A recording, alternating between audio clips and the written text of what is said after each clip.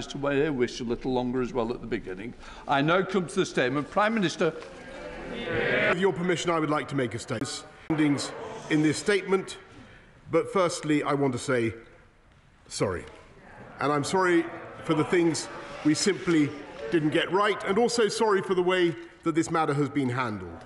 And it's no use saying that this or that was within the rules, and it's no use saying that people were working hard this pandemic was hard for everyone. We asked people across this country to make the most extraordinary sacrifices, not to meet loved ones, not to visit relatives before they died. And I understand the anger that people feel. But, Mr. Speaker, it isn't enough to say sorry. This is a moment when we must look at ourselves in the mirror and we must learn. And while the Metropolitan Police must yet complete their investigation, and that means there are no details of specific events in Sue Gray's report, I, of course, accept Sue Gray's general findings in full. And above all, her recommendation that we must learn from these events and act now.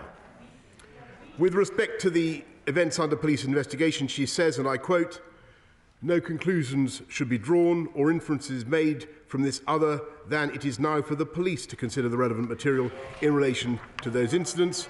But more broadly, she finds that there is significant learning to be drawn from these events, which must be addressed immediately across government. This does not need to wait for the police investigations to be concluded. That is why we are making changes now to the way Downing Street and the Cabinet Office run so that we can get on with the job, the job that I was elected to do, Mr. Speaker, and the job that this government was elected to do.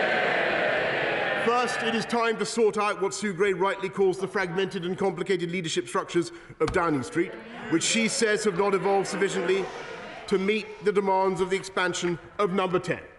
And we will do that, including by creating an Office of the Prime Minister, with a permanent secretary to lead number 10. Second, Mr. Speaker, it is clear from Sue Gray's report that it is time not just to review the civil service and special advisor codes of conduct wherever necessary to ensure that they take account of Sue Gray's recommendations, but also to make sure that those codes are properly enforced. And third, I will be saying more in the coming days about the steps we will take to improve the Number 10 operation and the work of the Cabinet Office, to strengthen Cabinet government, and to improve the vital connection between Number 10 and Parliament. Mr. Speaker, I get it and I will fix it. And I want to say, and I want to say to the people of this country, I know what the issue is. Yes, Mr. Speaker, yes, yes. It's whether this government can be trusted to deliver. And I say, Mr. Speaker, yes, we can be trusted. Yes, we can be trusted to deliver. We said that we would get Brexit done, Mr. Speaker, and we did and we're setting up free ports around the whole United Kingdom. I've been to one of them today, which is creating tens of thousands of new jobs, Mr. Speaker. We said we would get this country through COVID, and we did.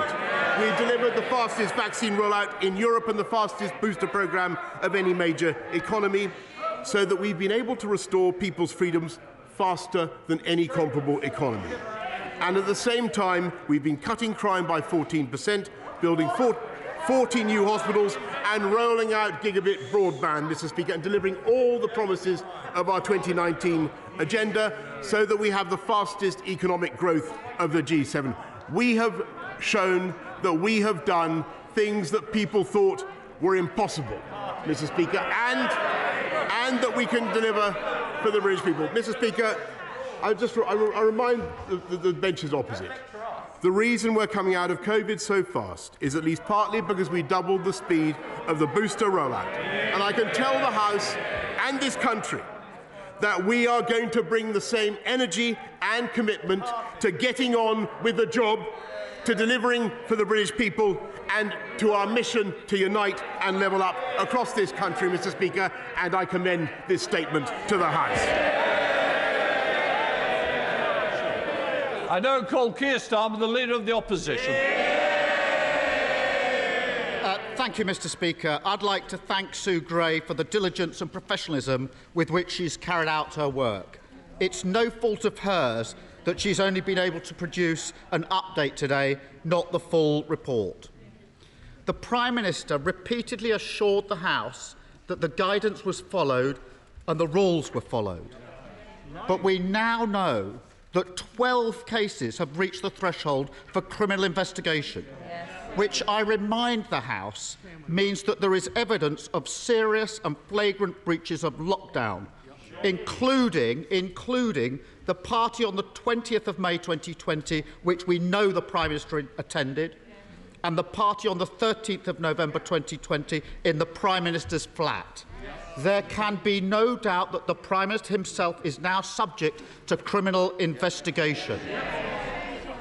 The Prime Minister must keep his promise to publish Sue Gray's report in full when it is available. But it is already clear that the report discloses the most damning conclusion possible. Over the last two years, the British public have been asked to make the most heart wrenching sacrifices. A collective trauma endured by all, enjoyed by none. Funerals have been missed, dying relatives unvisited. Every family has been marked by what we've been through. And revelations about the Prime Minister's behaviour have forced us all to rethink and relive those darkest moments. Many have been overcome by rage, by grief, and even guilt. Guilt that because they stuck to the law, they did not see their parents one last time. Guilt that because they didn't bend the rules, their children went months without seeing friends. Guilt that because they did as they were asked, they didn't go and visit lonely relatives. But people shouldn't feel guilty. They should feel pride in themselves and their country because by abiding by those rules, they've saved the lives of people they will probably never meet. They have shown the deep public spirit and the love and respect for others that has always characterised this nation at its best.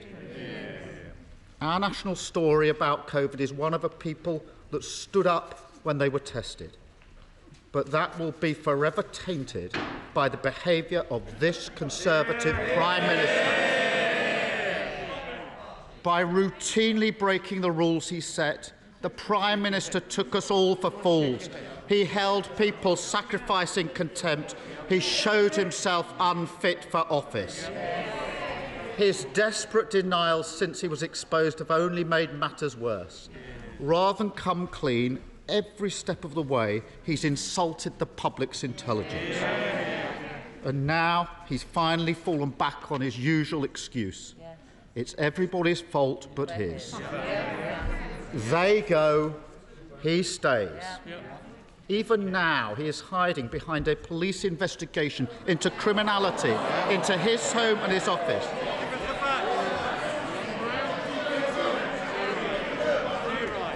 Mr. Speaker, he gleefully treats what should be a mark of shame as a welcome shield.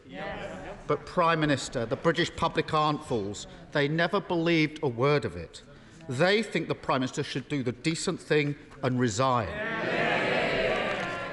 Of course he won't, because he is a man without shame. And just as he has done throughout his life, he's damaged everyone and everything around him along the way. His colleagues have spent weeks defending the indefensible, touring the TV studios, parroting his absurd denials, degrading themselves and their offices, fraying the bond of trust between the government. Oh, order. The member for South Ribble is my neighbour. I expect better from my neighbours. Keir Starmer fraying the bond of trust between the government and the public, eroding our democracy and the rule of law. Margaret Thatcher once said, The first duty of government is to uphold the law. If it tries to bob, and weave and duck around that duty when it's inconvenient, then so will the governed. Mr. Speaker, to govern this country is an honour, not a birthright. It is an act of service to the British people, not the keys to a court to parade to your friends. It requires honesty, integrity, and moral authority. I can't tell you how many times people have said to me that this Prime Minister's lack of integrity is somehow priced in, that his behaviour and character don't matter. I have never accepted that, and I never will accept that. Whatever your politics, whichever party you vote for, honesty and decency matters. Our great democracy depends on it. And cherishing and nurturing British democracy is what it means to be patriotic. There are members opposite who know that, and they know the Prime Minister is incapable of it. The question they must now ask themselves is what are they going to do about it? They can heap their reputations, the reputation of their party, the reputation of this country on the bonfire that is his leadership. Or they can spare the country from a Prime Minister totally unworthy of his responsibilities. It is their duty to do so. They know better than anyone how unsuitable he is for high office. Many of them knew in their hearts that we would inevitably come to this one day.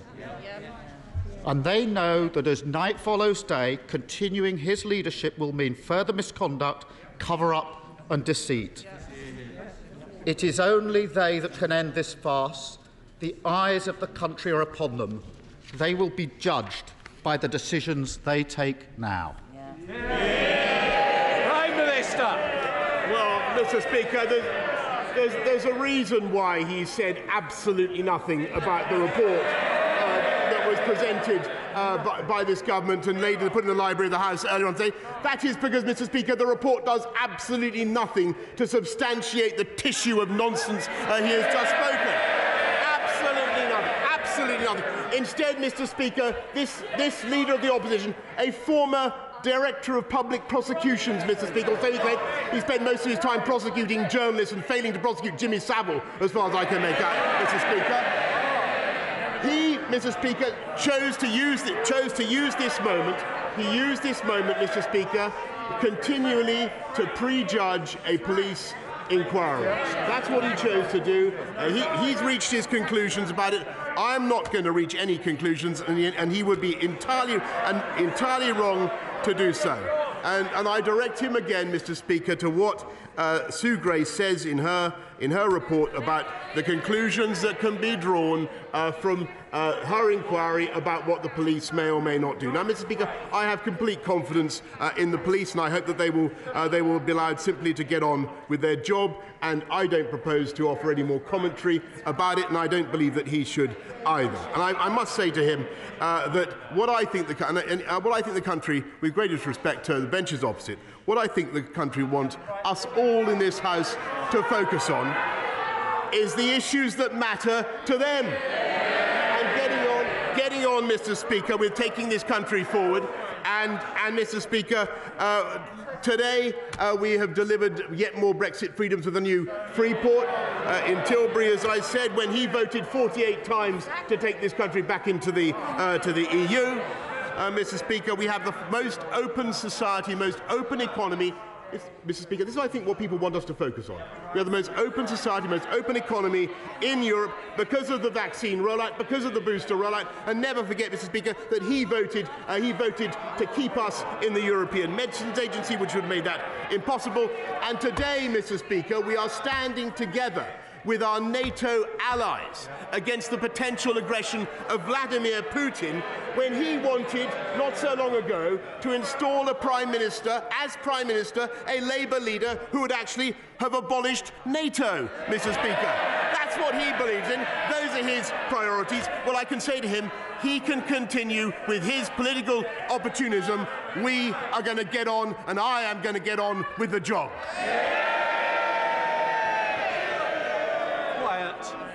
Theresa May. Thank you, Mr. Speaker. The COVID regulations imposed significant restrictions on the freedoms of members of the public. They had a right to expect their Prime Minister to have read the rules, to understand the meaning of the rules, and indeed those around, them to have done, around him to have done so too, and to set an example in following those rules. What the Gray report does show is that number 10 Downing Street was not observing the regulations they had imposed on members of the public. So either my right honourable friend had not read the rules, or didn't understand what they meant, and others around him, or they didn't think the rules applied to number 10. Which was it? Prime Minister! My right honourable friend. It's a very important question. I want to hear the answer, even if other people don't. Prime Minister. Uh, no, Mr. Speaker, that is not what the uh, Gray report says. Uh, it is not what the Gray report says. Uh, but if she, I, I, I, I suggest that she waits to see uh, the conclusion of the inquiry. I now come to the Leader of the SNP, Ian Blackford. Thank you, Mr Speaker. And can I say it's a pleasure to follow the former Prime Minister and perhaps her behaviour in office, like many that went before her, was about dignity, about the importance of the office, of respect, of truthfulness. And the Prime Minister will be well advised to focus on those that have not dishonoured the office like he has done.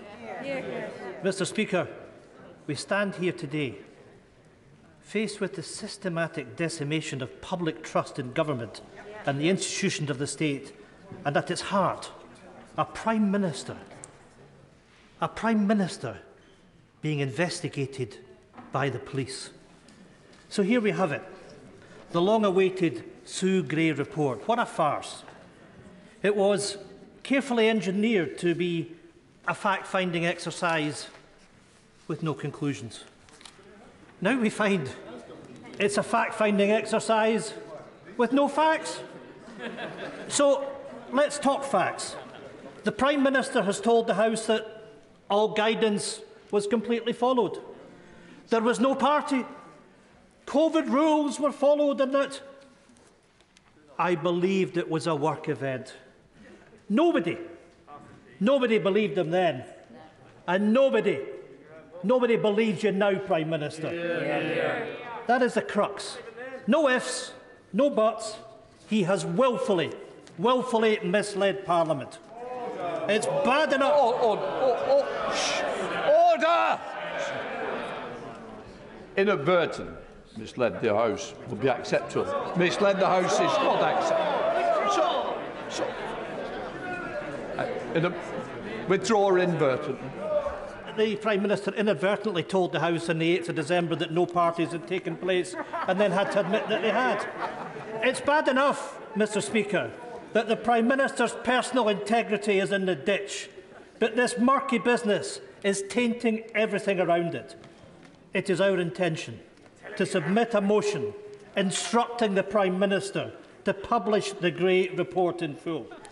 Will the Prime Minister obey an instruction by this House to publish as required? Mr Speaker, amidst allegations of blackmail by Tory whips, the members opposite have been defending the indefensible. Wait for the report, we were told. Well, here it is, and it tells us very little, except it does state that there were failures of leadership and judgment by different parts of Number 10. It states that some events should not have been allowed to take place. That is the Prime Minister's responsibility. If there is any honour, any honour in public life, then he would resign. Where is this? And he laughs. And the Prime Minister laughs. We ought to remind ourselves in this House that 150,000 plus of our citizens have lost their lives. Family members that couldn't be with them. And that is the sight that people will remember. A Prime Minister laughing at our public. I extend the hand of friendship to all those that have sacrificed. I certainly do not extend the hand of friendship to the Prime Minister, who is no friend of mine. Where is the shame? Where is the dignity? Meanwhile, the police investigation will drag on and on. Every moment the Prime Minister stays, trust in government and the rule of law is ebbing away. The litany of rule breaking, the culture of contempt, the utter disdain for the anguish felt by the public who have sacrificed so much. What the public see is a man who has debased the office of Prime Minister, shrinked responsibility, dogged accountability and blamed his staff at every turn, presided over sleaze and corruption and tainted the very institutions of the state. In short, Mr Speaker, this is a man... Well, they can laugh. They can laugh. But the public know. The public know this is a man they can no longer trust. He has been investigated by the police. He misled the House. He must now resign. Order. You'll have to withdraw that last comment. Mr Speaker, I gave the evidence of the 8th of December. Order, order. You're going to have to withdraw misled. Mr Speaker, the Prime Minister has misled the House. Unless you withdraw, I'll have to stop, and that's not good. Just withdraw the words. I am standing up for my constituents that know that this Prime Minister has lied and misled the House. Give me the paper. Give me the paper. Inadvertently misled. I'll give you one more chance. As leader of the SNP, I don't want to have to throw you out. I'm going to give you this chance. Please. Please to power. That man has misled the House.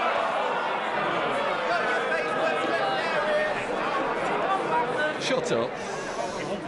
I'm sorry it's come to this, and I'm sorry that the leader of the party has not got the decency to just withdraw those words in order that this debate can be represented by all political leaders. Would you like to inadvertently? If the Prime Minister has inadvertently misled the House, then I will state that. Right, we're going to leave it at that. Prime Minister. I, Mr. Speaker, I, I'm grateful to the uh, Right Honourable Gentleman for withdrawing uh, what he just said because he was wrong then and uh, he, I'm afraid, is wrong in, the, in, in his, his analysis. And I, I, I apologise, as I've said, for uh, all the suffering that people have had throughout this pandemic and, uh, and for the anger that people feel uh, about what has taken place in, in number 10 Downing Street. But I've got, I've got to tell the, the right honourable gentleman that for much of what he said, uh, his best course is simply to wait for the, uh, for the inquiry to be completed. Can I just say, I take it the honourable member has withdrawn it, the right honourable member. That the Prime Minister may have inadvertently misled the House. But, no. should, order. To help me, to help the House, you withdrawn your earlier comment and replaced it with inadvertently. It's not my fault if the Prime Minister can't be trusted to tell the truth. Under the power given to me by Standing Order number 43, I order the honourable member to withdraw immediately from the House. From the House. Rivera, it's, it's, it's all right, we don't need to bother. Right, let us move on. Andrew Mitchell. Does my right honourable friend recall that uh, ever since he joined the party's candidates list 30 years ago, until we got him into number 10, he has enjoyed my full-throated uh, support. But I am deeply concerned by these events, and, and very concerned indeed by some of the things he has said from that dispatch box and has said to the British public and our constituents. When he kindly invited me to see him 10 days ago, I told him that I thought he should think very carefully about what was now in the best interests of our country and of the Conservative Party. And I have to tell him he no longer enjoys my support. Well, uh, Mr. Speaker, I, I must tell uh, respectfully uh, my right honourable friend, great though uh, the admiration uh, is that I have of him, I, I simply think that he's uh, mistaken in his views and I, I urge him, to, I urge him to, to reconsider upon full consideration of the, of the inquiry. Dame Angela Eagle. Thank you very much, uh, Mr Speaker. The Prime Minister told us, and I'm quoting him, I have repeatedly been assured since these allegations emerged that there was no party and that no COVID rules were broken. We now know that 12 of the 16 parties are subject to a police investigation, and that of the remaining four, the Sue Gray report says this, that she's seen a serious failure to observe the high standards at number 10. She's seen failures of leadership, failures of judgment, and the Prime Minister thinks this is fine. So just how bad do things have to be before he takes personal responsibility, does what everybody in this country wants him to do, and resign? Uh, Mr. Speaker, what we are doing is taking the action that I've described uh, to set up a Prime Minister's Department to improve the operation uh, of Number 10, and we will be taking further steps, Mr. Speaker, in, uh, in the days ahead. Graham Stuart. Speaker, the uh, inquiry has found there have been serious failings and has suggested there be changes in the, uh, the way that uh, number 10 is run. And there's a real opportunity now to take forward this new office of the Prime Minister and ensure further Im improvements are made so that we can carry on delivering, because what the parties opposite hate is the fact that this government will carry on delivering on the things that matter most to people while also making sure that the governance within number 10 is improved. I thank my right honourable friend very, very much. I think he's completely right. I do think that uh, the opposition, uh, of course, uh, want to keep the, uh, their focus trained uh, on this. That's their, that's their decision. I think, Mr. Speaker, I think, Mr. Speaker, what the people of this country want us to do is to get on with the job that they want us to do, and that is to serve them, Mr. Speaker, and to stop talking, frankly, about ourselves.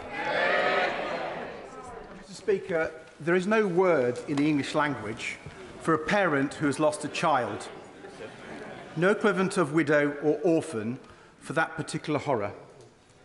It is a loss that is literally beyond words. A loss that hundreds and thousands of parents have tragically experienced during this pandemic. Many had to bury their children alone. Many couldn't be there with them at the end. Meanwhile, number 10 parted. Yep. Does the Prime Minister understand? Does he care about the enormous hurt his actions have caused to bereaved families across our country? Will he finally accept that the only decent thing that he can do now is to resign? Uh, Mr. Speaker, I do care deeply about the hurt that is felt across the country uh, about the suggestion that uh, things were going on in number 10 that were in contravention of the, of the COVID rules. And I understand how deeply people feel about this and how angry uh, that they are. And, and, I, and I've apologized uh, several times, Mr. Speaker. But I must say that I think we should wait for the outcome of the inquiry by, before jumping to the conclusions uh, that he has. And in the meantime, we should focus on the issues that matter to the British people. Caroline Nokes. Speaker, the public and this House have been frustrated by having to wait for Sue Gray, wait for the Metropolitan Police, and today the Prime Minister has announced his new office at number 10. Please can you let this House know what specific structures are going to be put in place so that this House can hold it accountable? Uh, well, Mr. Speaker, we will make sure that there's a new permanent secretary uh, to, who will be accountable uh, to me. Uh, and uh, we will make sure that the codes of conduct that are applied both to SPADs and to uh, civil servants are properly enforced. And of course, all of that will be properly communicated to the, to the House, Mr. Speaker. And what I want to see is much better uh, communication and, uh, and links between number 10 and the entirety of the House of Commons. And we will do that. Sir George Howarth. Yeah, yeah. Thank you, Mr. Speaker. Yesterday, at the local Tesco store in my constituency, a constituent asked me, and it was in a tone more in sorrow than in anger, why doesn't the Prime Minister realise that as every day goes by, he damages the reputation of our country eh, and uh, abroad and around the world? Why, he said, doesn't the Prime Minister realise that? How would he respond to that constituent? Uh, Mr. Speaker, I think the reputation of our country around the world is built on the fastest vaccine rollout uh, in Europe, if not in all major economies.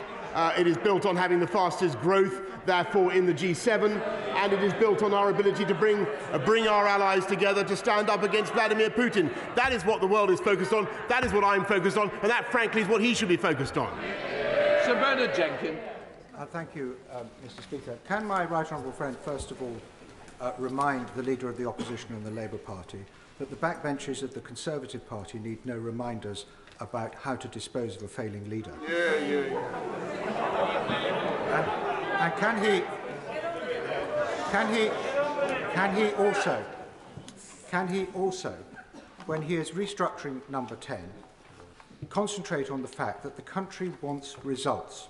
The country, we can't see the point of such a large number 10 superstructure, that it needs to be slimmed down and streamlined and can I commend his determination to restore, to restore cabinet, to restore cabinet government, and it is on results over the next few months on which he will be judged. Uh, well, Mr. Speaker, I, I thank uh, my right honourable friend very much for that, and I, I think he's entirely right, and I'm uh, more than content to be judged, Mr. Speaker, on the results that we've already delivered and the results that we will deliver. I'm sure that we will be greatly assisted uh, by the reforms of number 10 that I've outlined.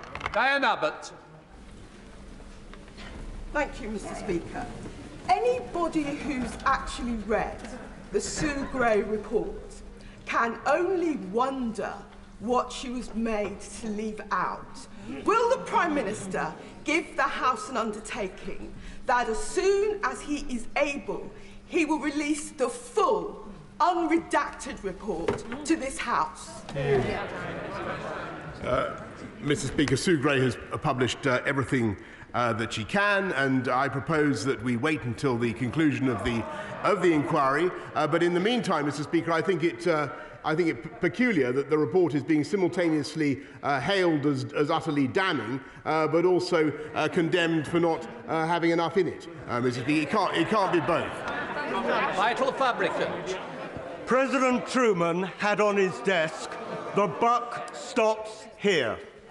So the Prime Minister was right to apologise for the events that happened in number 10 Downing Street.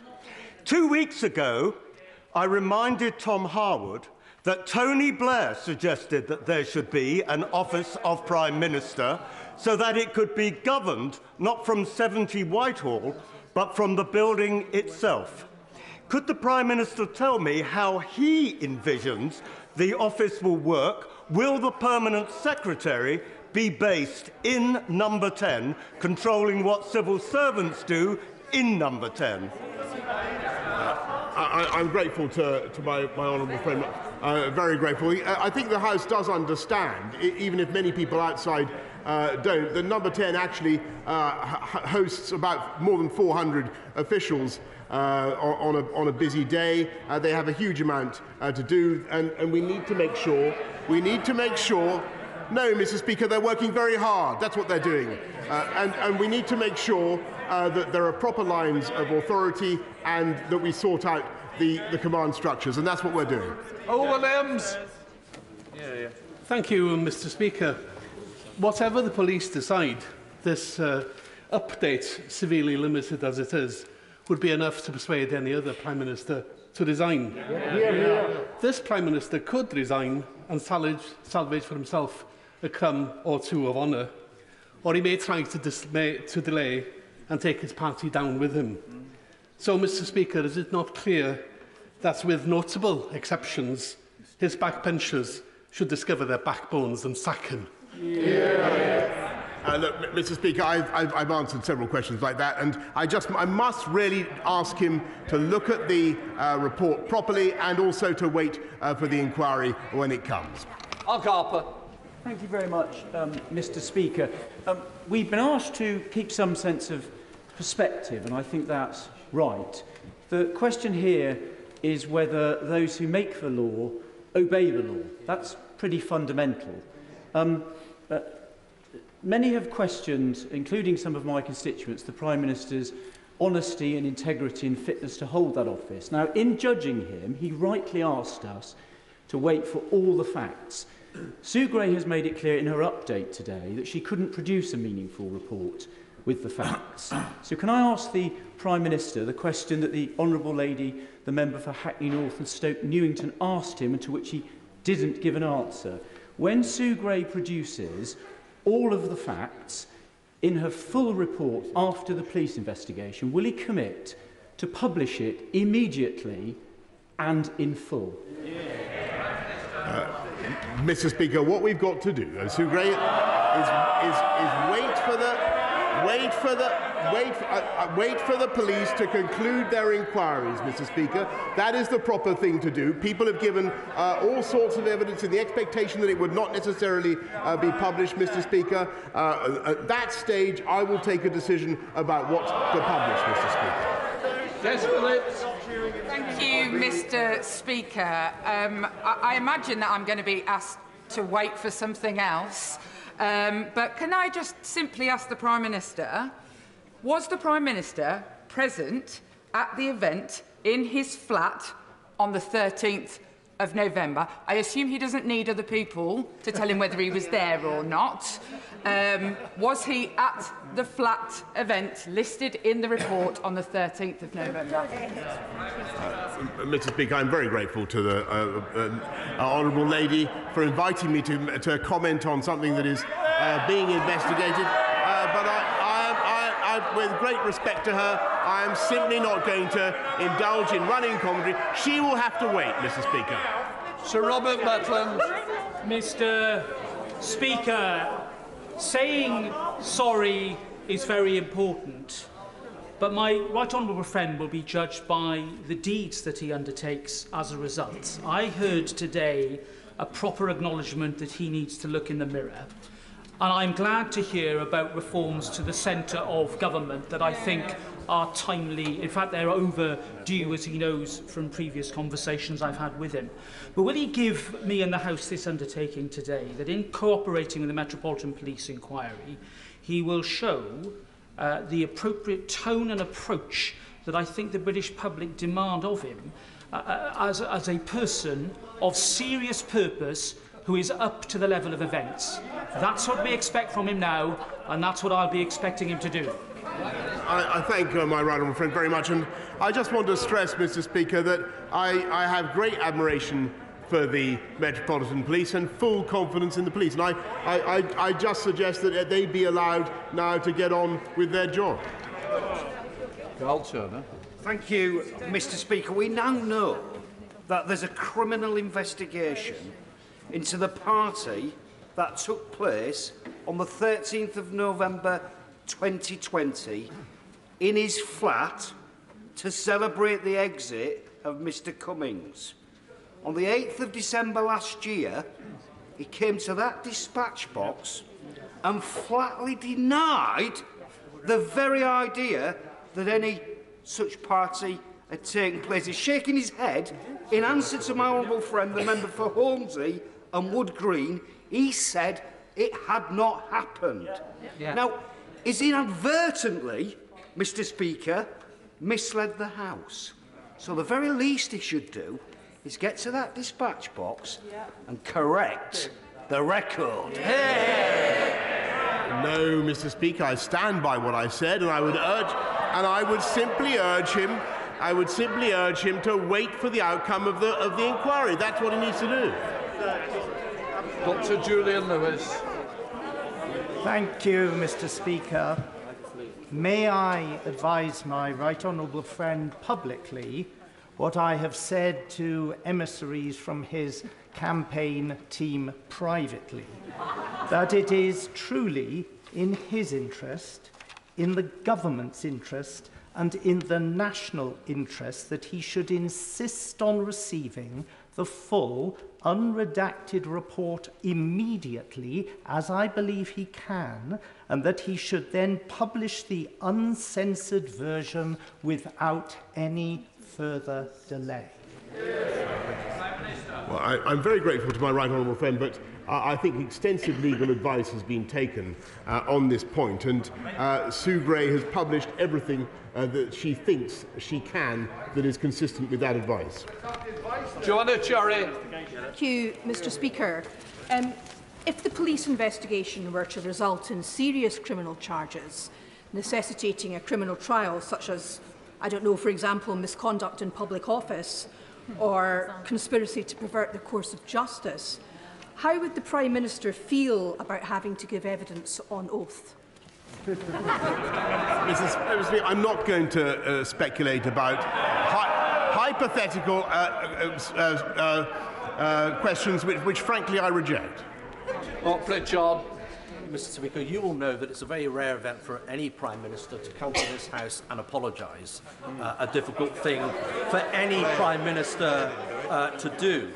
But on the issue of the police investigation, does my right honourable friend agree with me that there should be due process, that there should be free and unfettered access to all at number 10, but most of all, there should be no prejudging or undermining of the police inquiry before it's concluded?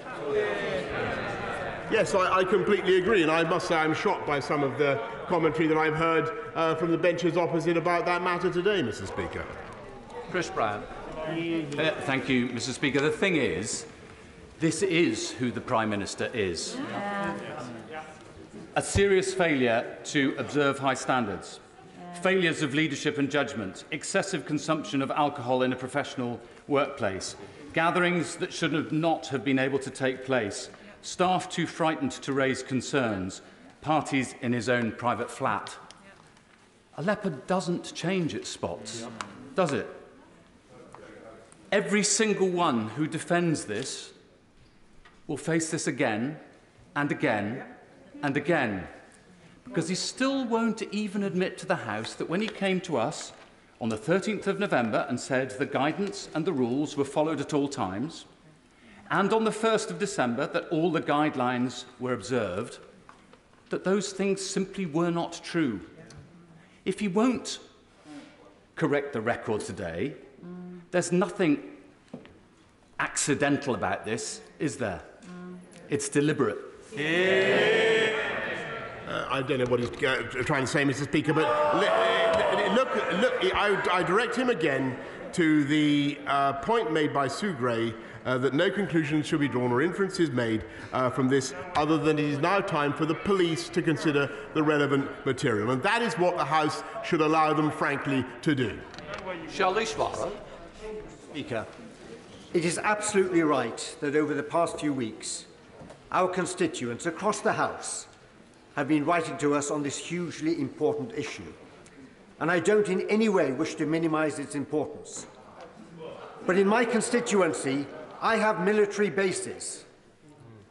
And I am receiving emails from families who are concerned about their loved ones and the potential role they may end up playing given the conflict on the Russian-Ukrainian border. Yep, yep, yep. Members opposite may treat this lightly, but for the families, but families who have those serving in the military do not treat it lightly.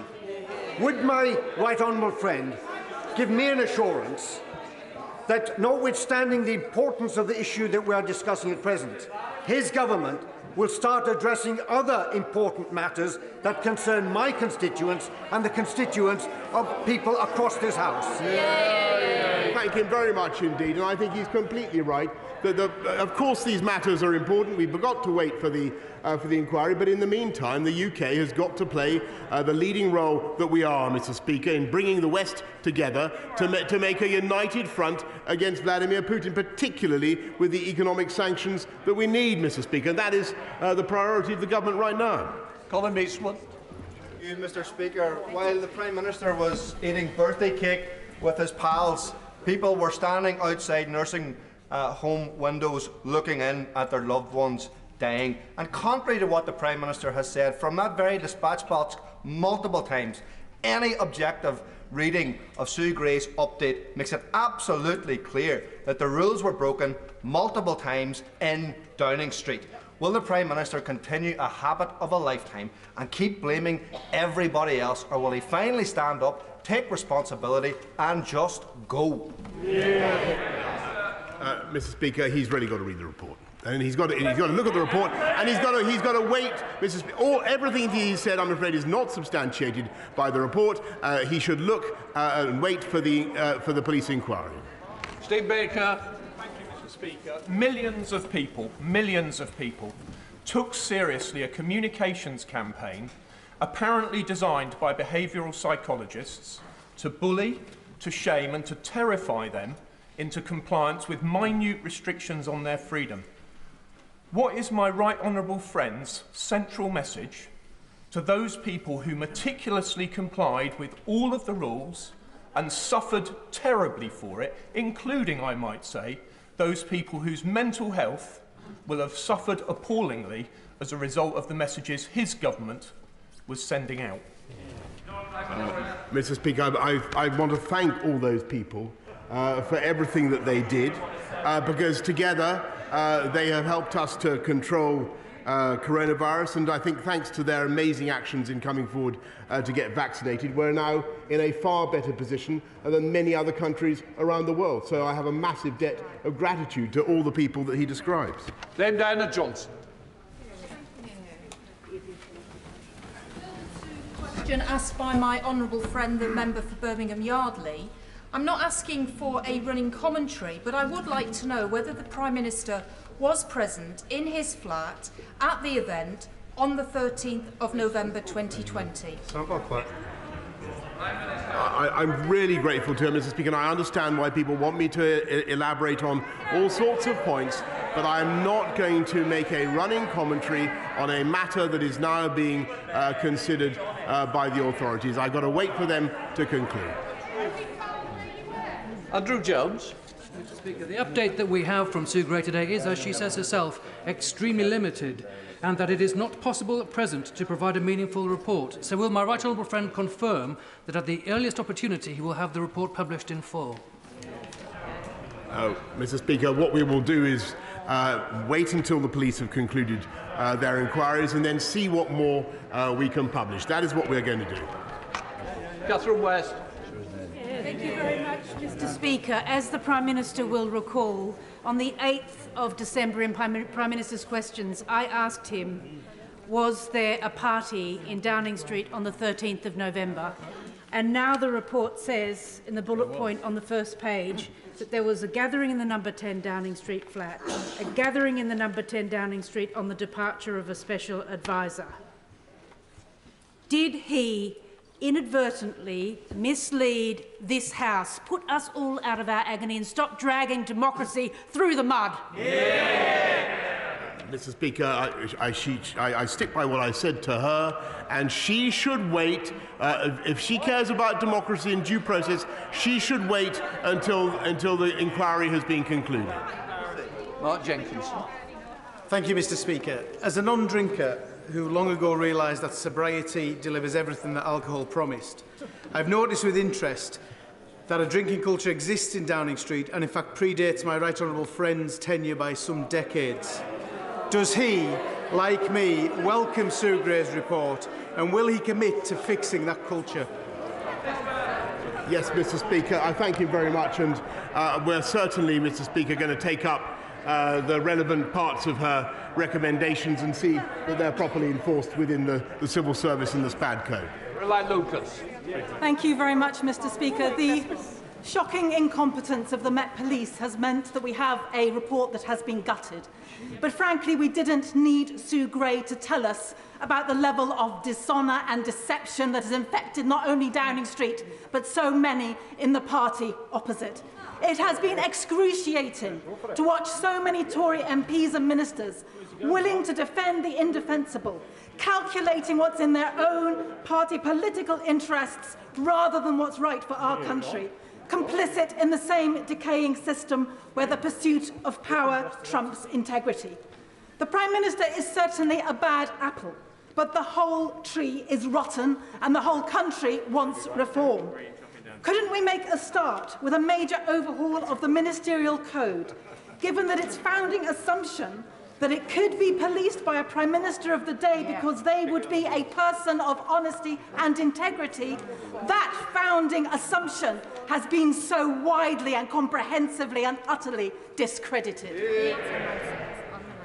Uh, Mr. Speaker, uh, of all the things that she just, we are, we are reforming the ministerial code, but of all the things that I disagree with her uh, about and what she's just said, I, I disagree with her most passionately in what she's just said about the police. I think they do an outstanding job. I think we should allow them to get on with that job, and I will await their conclusions. Thank you, Doyle Price. Thank you, uh, Mr Speaker. If I just uh, draw attention to uh, finding number seven uh, in this report, which documents that actually number 10 Downing Street has morphed from a small team in support of the Prime Minister to a self-indulgent bureaucracy all its own.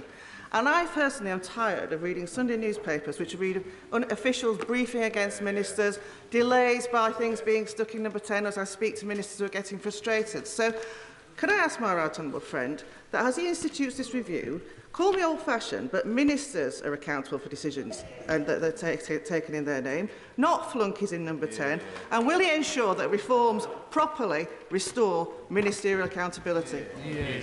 I, I, th I, thank her very much, and uh, I very much enjoyed our joint trip to uh, Tilbury uh, this morning. And I can tell her that, yes, I do think that it's vital, as Sue Gray says, that we learn from this and that we strengthen uh, cabinet government and the principle of ministerial uh, responsibility. Afzal Khan. Uh, thank you, Mr. Speaker. I have spoken about my own experience of loss during yes. the pandemic yes. many times. Yes. I do not claim that my experiences are special. Indeed, they were all too common.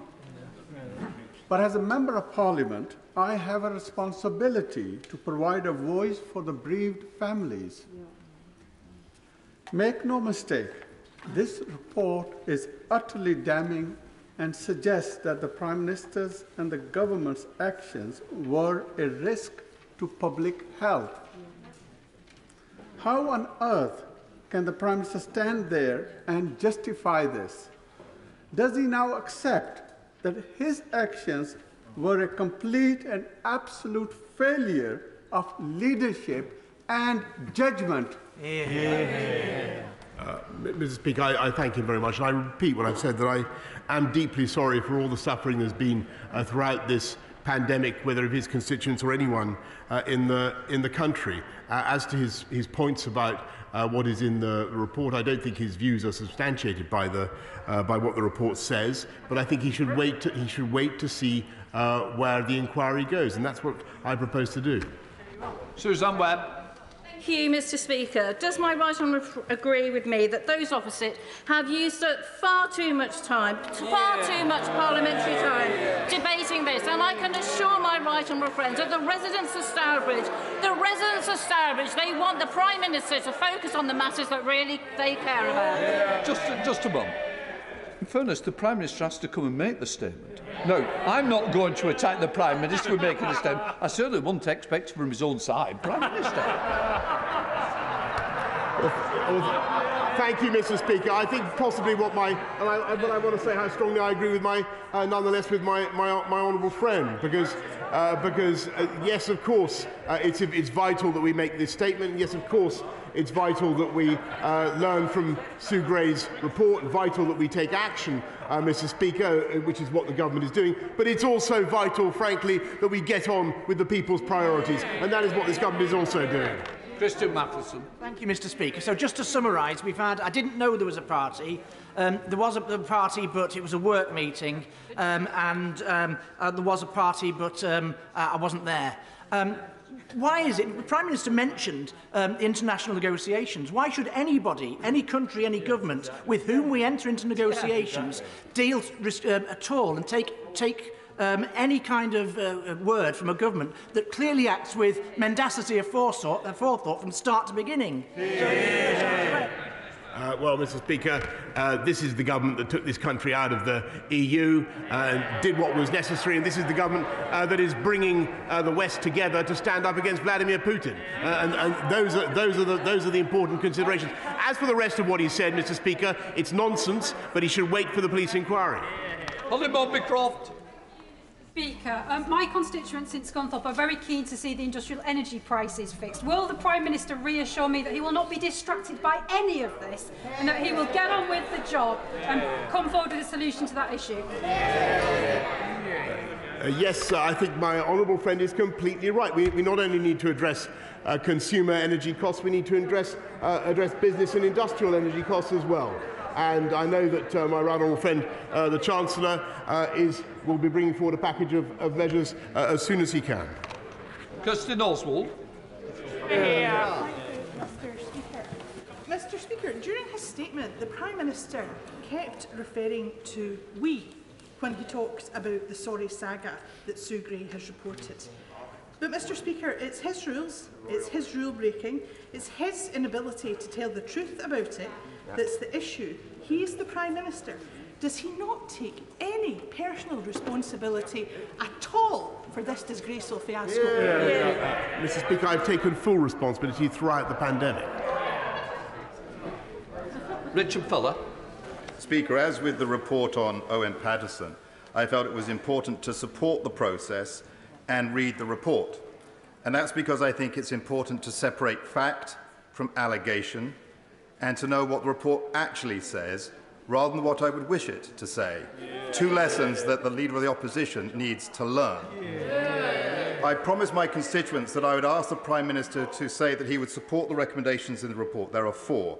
That every government department has a clear and robust policy in place covering the consumption of alcohol in the workplace that access to the garden, including for meetings, should be invitation only and in a controlled environment, that there should be easier ways for staff to raise such concerns, basically whistleblowing, and that too much responsibility and expectation is placed on the senior official whose principal function is the direct support of the Prime Minister. Those are the facts and the findings of the report. Will the Prime Minister accept them in full? Yeah. Yes. Uh, yes, Mr Speaker, I, I do. And as I've said to the House earlier on, I accept the findings of the report uh, in full, uh, the general findings, and uh, we, we are immediately taking steps to implement the changes. Maria Riddle. The Prime Minister's just said he accepts the findings of the report. One of them says that there were failures of leadership and judgment by different parts of Number 10 the Cabinet Office at different times. He provides the political leadership and the political judgment at Number 10. Does he accept his own personal wrongdoing and failings in this regard? Yeah, yeah. Uh, Mr Speaker, not only have I accepted full responsibility uh, throughout, uh, but I, I have apologised uh, repeatedly to the House for any misjudgments that I may have made myself. Uh, but again, I, I must urge her to wait for the conclusion of the inquiry. Aaron Bell. It seems a lot of people attended events in May 2020. The one I recall attending was my grandmother's funeral. She was a wonderful woman. As well as a love for her family, she served her community as a councillor and she served Dartford Conservative Association loyally for many years. I drove for three hours from Staffordshire to Kent. Only 10 people at the funeral, many people who loved her had to watch online. I didn't hug my siblings, I didn't hug my parents. I gave a eulogy, and then afterwards I didn't even go to her house for a cup of tea.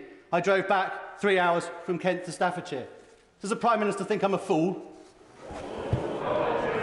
No, Mr Speaker, I, I want to thank my honourable friend and I want to, uh, and I want to say how deeply I sympathise with him uh, and his family uh, for their loss.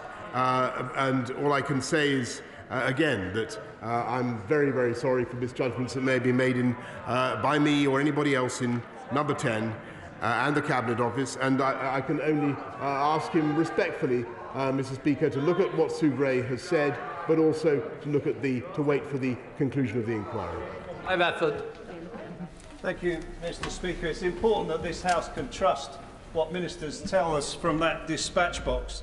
And on the 8th of December, regarding events at number 10 Downing Street, the, minister, the Prime Minister said, I repeat that I've been repeatedly assured since these allegations emerged that there was no party and that no COVID rules were broken. That is what I've been repeatedly assured. Now, the people who gave him those assurances led to him inadvertently misleading the House. So have those people faced any disciplinary proceedings? Uh, well, Mr. Speaker, first of all, he needs to, to I'm afraid, to, to await the conclusions of the police inquiry, uh, because uh, he, I'm afraid the, uh, he, the, the premise of his question may not, or may or may not be uh, substantiated. But what I can tell the House is, yes, as I've said before, there certainly, there certainly uh, will be changes in the way we do things and changes in number 10. Duncan Baker. Speaker, North Norfolk consistently had some of the lowest levels of infection in the country. We followed the rules. So many of my constituents have been incensed. The damage that this is doing to the government is enormous. It is about integrity and trust. Can I ask again, because people want to know, how can the Prime Minister now satisfy my constituents and assure me that full accountability and transparency on the findings of the final Gray report will swiftly follow? Yeah. Well, uh, Mr. Speaker, uh, I will do whatever I can to ensure that this House has as much clarity as possible. There are legal issues uh, that, that we face, uh, Mr. Speaker, about some of the, some of the testimony that has been, uh, that has been given. Uh, but in the meantime, uh, what I, I think uh, Sue Gray wants uh, us to do is to wait for the conclusion of the, uh, of the investigation, of the inquiry, and to see where that goes, and, and to support the police in their work. Thank you, uh, Mr. Speaker. Does the Prime Minister need somebody else to tell him whether he was there or he is there now? Uh, I, I refer the honourable lady to the answer I've already given. Sam Baines. Mr Speaker, we all recognise that number 10 Downing Street is an unusual amalgam of workplace, office space and private home. What steps will the Prime Minister take um, to ensure that the lines between each of them are made clearer in the future? Uh, Mr. Speaker, that's, uh, you will see that there are uh, a reference to that very problem in Sue Gray's uh, report, and we're going to take steps, uh, Mr. Speaker, to uh, clarify things and to make sure uh, there, are, there is greater transparency in the lines of, of command. Stephen Timms. Thank, thank you, Mr. Speaker. Does the Prime Minister recognise that repeatedly making statements, including from that dispatch box, which turn out subsequently to be untrue, is a serious problem? Or does he not recognise that? Uh, Mrs. Mr. Speaker, I really think he's prejudging things and he should wait for the conclusion of the, of the inquiries. Paul Holmes. Thank you, Mr. Speaker. Uh, I welcome the fact that my right honourable friend has come to this House as a first step in responding to this report. He's also rightly outlined that the relationship between Number 10 and this House needs to improve. So will he reassure me that he'll continue to come to this House to update us on the implementation of the recommendations in Sue Gray's report and how that will happen? Um, yeah, Mr. Speaker, I, I will, of course, I'm only too happy to uh, assure the House that we intend to uh, make changes starting from now, and uh, I will keep the House updated. Paul Barker. Thank you, Mr. Speaker. When there's a failure of leadership and an inappropriate culture in an organisation, the person at the top should go. This outrageous debacle hasn't happened in spite of the Prime Minister. This has happened because of the Prime Minister. Will the Prime Minister now do the right thing and resign? Uh, Mr. Speaker, the answer is no, because I'm going to wait for the uh, conclusions of the uh, the conclusions of the inquiry uh, before before uh, all any of the assertions that she's made can be established. Greg Smith. Mr. Speaker, I thank the Prime Minister for his statement, particularly the acknowledgement of the enormous sacrifice that so many British people went through. And as somebody who was unable to say goodbye to my grandparents this time last year, can I welcome his sincere apology. But as we, as we wait, as we wait for the Metropolitan Police findings, can my right honourable friend give me a categoric assurance that it will be full speed ahead on fixing the Northern Ireland Protocol, standing up for our friends in Ukraine and fixing the cost of living crisis? Yes. Uh, yes, Mr. Speaker, that is exactly what this government is going to do, and nor will we be distracted for one minute. Wayne David. Thank you, Mr. Speaker. In the, the general findings to Sue, Sue Gray's report, there's a reference to the failure of leadership and judgment by number 10. Does the Prime Minister accept that Sue Gray was largely referring to him? Uh, Mr. Speaker, I really think that he should uh, recite the, the whole report, uh, but I have told him that I accept the findings. Uh, I- I've accept the findings uh, that Sue Gray has given in full, and we are acting on them today. Natalie Elphicke. Speaker. I, um, I welcome my right honourable friend's apology. He's taken responsibility, he's apologised, and it's right that he should do so. Can my right honourable friend, the Prime Minister, confirm that tackling the small boats crisis will remain top of the new office of the Prime Minister? Because that's what the country wants to see. We want to see this Prime Minister getting on with the job.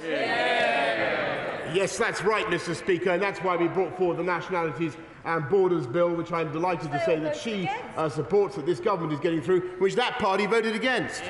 Stephen Farry. Thank you. The flippancy of some of the answers today and the non-answers to other questions don't suggest that the Prime Minister is genuinely that sorry. Does he recognise the long-term damage he risks doing to historic norms of democracy? Is it right that they are sacrificed for the interests of one man who refused to do what the country knows needs to happen? And can he point to one single example where he personally has improved standards in public life? Uh, how about, Mr. Speaker, uh, deciding to uh, honour the wishes of the people and deliver Brexit in spite of their attempts, Mr. Speaker, to subvert democracy? Rob Roberts. Mr Speaker, delivery is key. The Prime Minister delivers.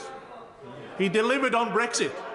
He delivered with furlough and with the self-employed scheme that ensured businesses were able to survive. They can shout it down because they don't like it, Mr Speaker, that's fine. He delivered with one of the best vaccination programmes in the world. He delivered a country that is coming out of a pandemic and an economy that is thriving with people who sadly lost their jobs in the last two years having more vacancies than ever to choose from. But nobody talks about those things, Mr Speaker, because all sides of those things... Order, order. I think the Prime Minister may have just got a grip of what you've had to say. Prime Minister.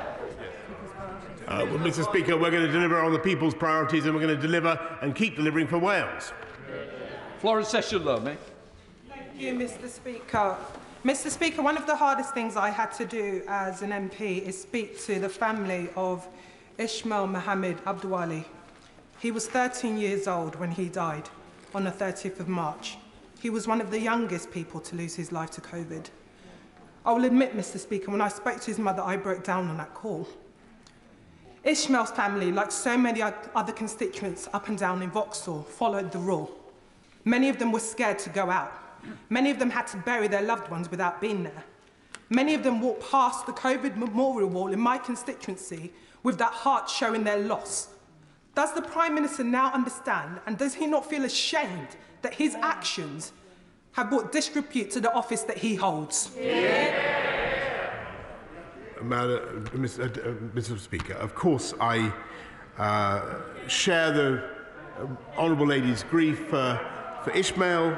Uh, I sympathise with uh, Ishmael's family, and I, I understand the pain and loss that everybody's experienced throughout this country.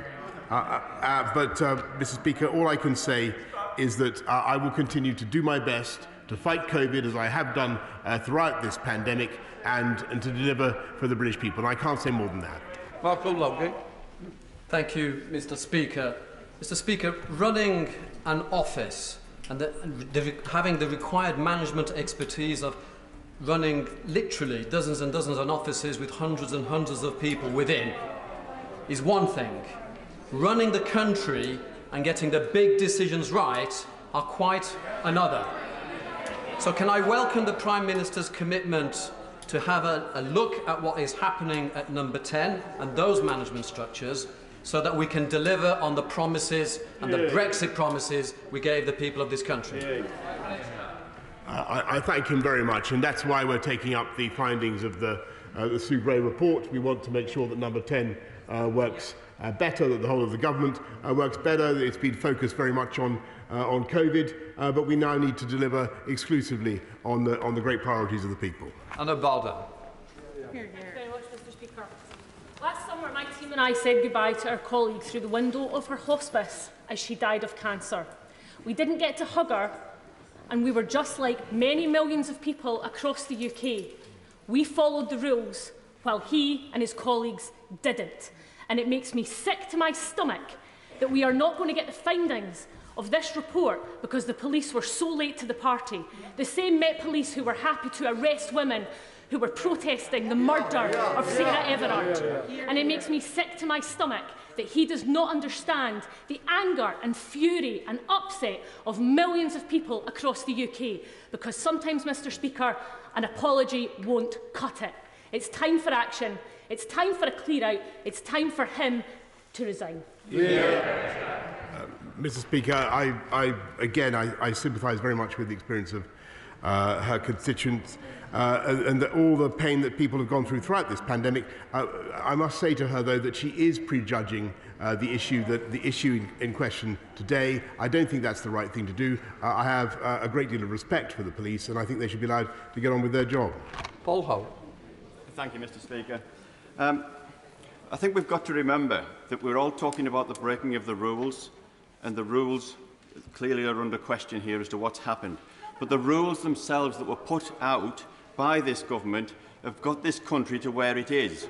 And we've got to remember that those rules did the right thing. So yes, there's got to be consequences in number 10 for any rules that have been broken, but please remember the right thing was done by the instigation of the rules in the first place. And I have to say, when I'm talking to my constituents out there, they're saying, yes, we need to ask the question about what's happened there, but can we stop being that as the only sole subject and can the opposition talk about something else as well, please? Do we need to move on and level up this country? I, I thank my honourable friend very much, and I think I think he's right. The the rules are important, and it was very it was it was it was amazing and remains amazing uh, to see the way people pulled together throughout the the pandemic, and I, I thank people very much. Uh, but what we need to do, if we possibly can, uh, Mr. Speaker, if, if, the, if the opposition would, uh, would, would I think, would, uh, would, would agree, uh, we now need to focus on the issues that matter above all to the British people: fixing the cost of living, rebuilding our economy, clearing the COVID backlogs. That's what this government is doing. Barry Sheerman. Mr. Speaker, I have known the Prime Minister a long time, um, and we've always got on quite well. Mm.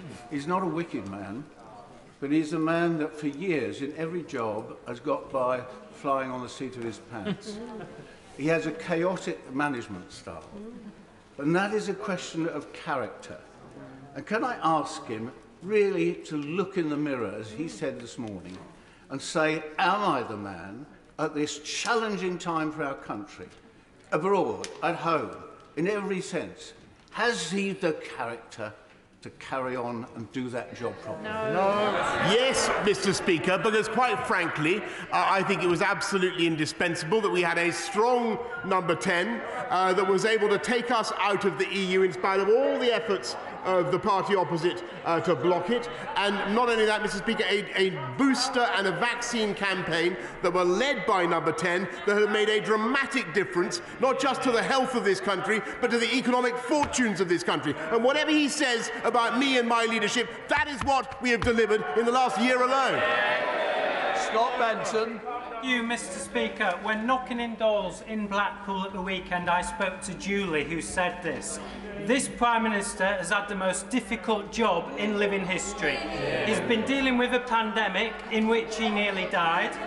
He's been dealing with the media who haven't forgiven him for delivering Brexit. And yet, let's He's been dealing with the media who haven't forgiven him yet for dealing with Brexit, and he hasn't had a chance to crack on and deliver yet for British people on their priorities report today has come out. The Prime Minister has apologised. Let's allow him to get on and deal. Oh, oh. oh. You want to hear Sir, Mr. Speaker, I, I, want to say how passionately, vehemently, and emphatically I agree uh, with, with, the remarks which I couldn't quite hear uh, of my, of my honourable friend. He is completely right, Mr. Speaker, and I think that is the priority of the British people. That's the priority of the government. Yeah, yeah. Brams limited as the Gray report uh, was, uh, we know that the, the, the findings are still incredibly damning. Um, multiple issues around uh, failures of leadership and judgment. Now, given that the Nolan principles and the standards of public life describe the centrality of integrity, honesty and leadership, how can the Prime Minister continue? I really think that she needs to read the report carefully, Mr. Speaker, uh, and and and and I'm afraid that the conclusions that she's drawing are not ones that I support. But what we are doing, Mr. Speaker, is is following Sue Gray's advice, and we are changing the way Number 10 runs, and we are going to uh, to do things differently, Mr. Speaker. But I, I can't agree uh, with what she says. Katherine Fletcher. Mr Speaker, on Saturday I was out and about enjoying ice cream in Lancashire, which I know you and your family do in some of the finest ice cream parlours in the north of England. And they said to me, he's a Wally, but 100,000 Russians have just turned up. What, uh, what the bloody hell are we doing talking about cake? Does the Prime Minister agree with that statement? Uh, Mrs. Speaker, I, I, I thank her very much. Uh, I thank her very much, and I think that what the country, what the country needs, and what the West needs. Sorry. Can I just say, if you don't want to carry on the question, I'm happy, happy to pull stumps now. But if we are going to have questions, I'm going to hear the answers as well as the questions. Prime Minister. Standing up, mate. You're going to have to sit down for a bit. What the country needs now, Mr. Speaker, is a UK government uh, working with our friends and partners to stand up to Vladimir Putin and to make sure that we have a strong package of sanctions, and that's what we're doing. Thank you, Mr Speaker. The Prime Minister sets the culture at number 10. Why does he think that staff members there felt unable to raise their concerns about the bad behaviours reported in today? Oh. Uh, Mr. Speaker, that is one of the recommendations of the, uh, the Sue Gray inquiry that we are going to take up to make sure that nobody uh, should feel that uh, in number 10, and that's why we're going to review the code uh, to ensure that nobody feels that they have uh, any inhibition on coming forward with any complaint uh, that they may have. Zarah Sultana. Mr Speaker, the Prime Minister and his allies are trying to distract and deflect from the truth. But here are the indisputable facts. The Prime Minister attended Downing Street parties. He told this House and the people that we represent that he attended no parties, and in fact, that there were no parties. The rules were clearly broken. The ministerial code has been violated. So when will he stop, stop in, insulting the intelligence of the British people and do the right thing and resign? Uh, Mr. Speaker, I, I really think she's got to let the Metropolitan Police get on and do their job. Brendan, o Brendan O'Hara. Mr Speaker, does the Prime Minister not recognise that the public are rapidly losing faith in the institutions that they must be able to trust if our democracy is to survive? Because it appears that there is no individual, no organisation, no group or no force whose reputation won't be sacrificed on the altar of saving this Prime Minister. So can I ask the Prime Minister, does he consider the erosion of public trust in the foundations of our democracy a price worth paying to ensure his personal survival? Yeah. Uh, Mr. Speaker, I believe that the foundations of, amongst the foundations of our democracy uh, are due process and the rule of law and allowing the police to get on with their job. And that's what we're going to do. Luke Pollard. Thank you, Mr. Speaker. Part four of Sue Gray's report says that there is an a culture of excessive consumption of alcohol, which is not appropriate. Is there also a culture of excessive drug taking in Downing Street? Prime, I missed what you. Prime Minister. Uh, Mr. Speaker, any drug taking would be excessive, and perhaps he should direct that question at the Labour front bench. Good question. Direct to it.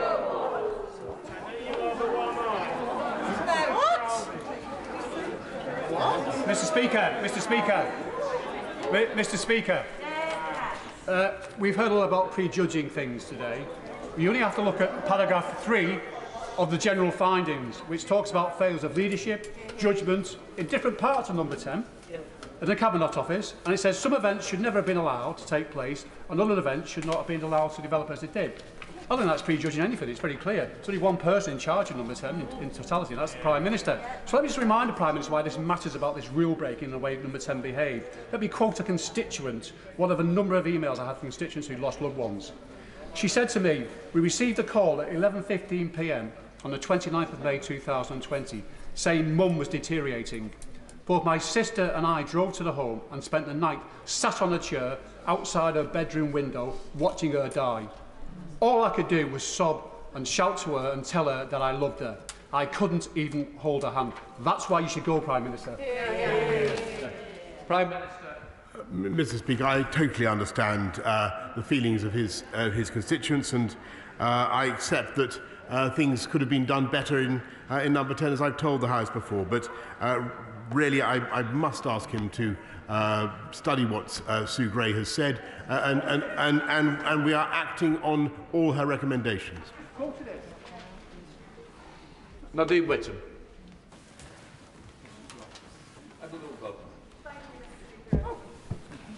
Which one of them, Mr. Speaker? Nadia's over there. She's there. Nadia Whittome.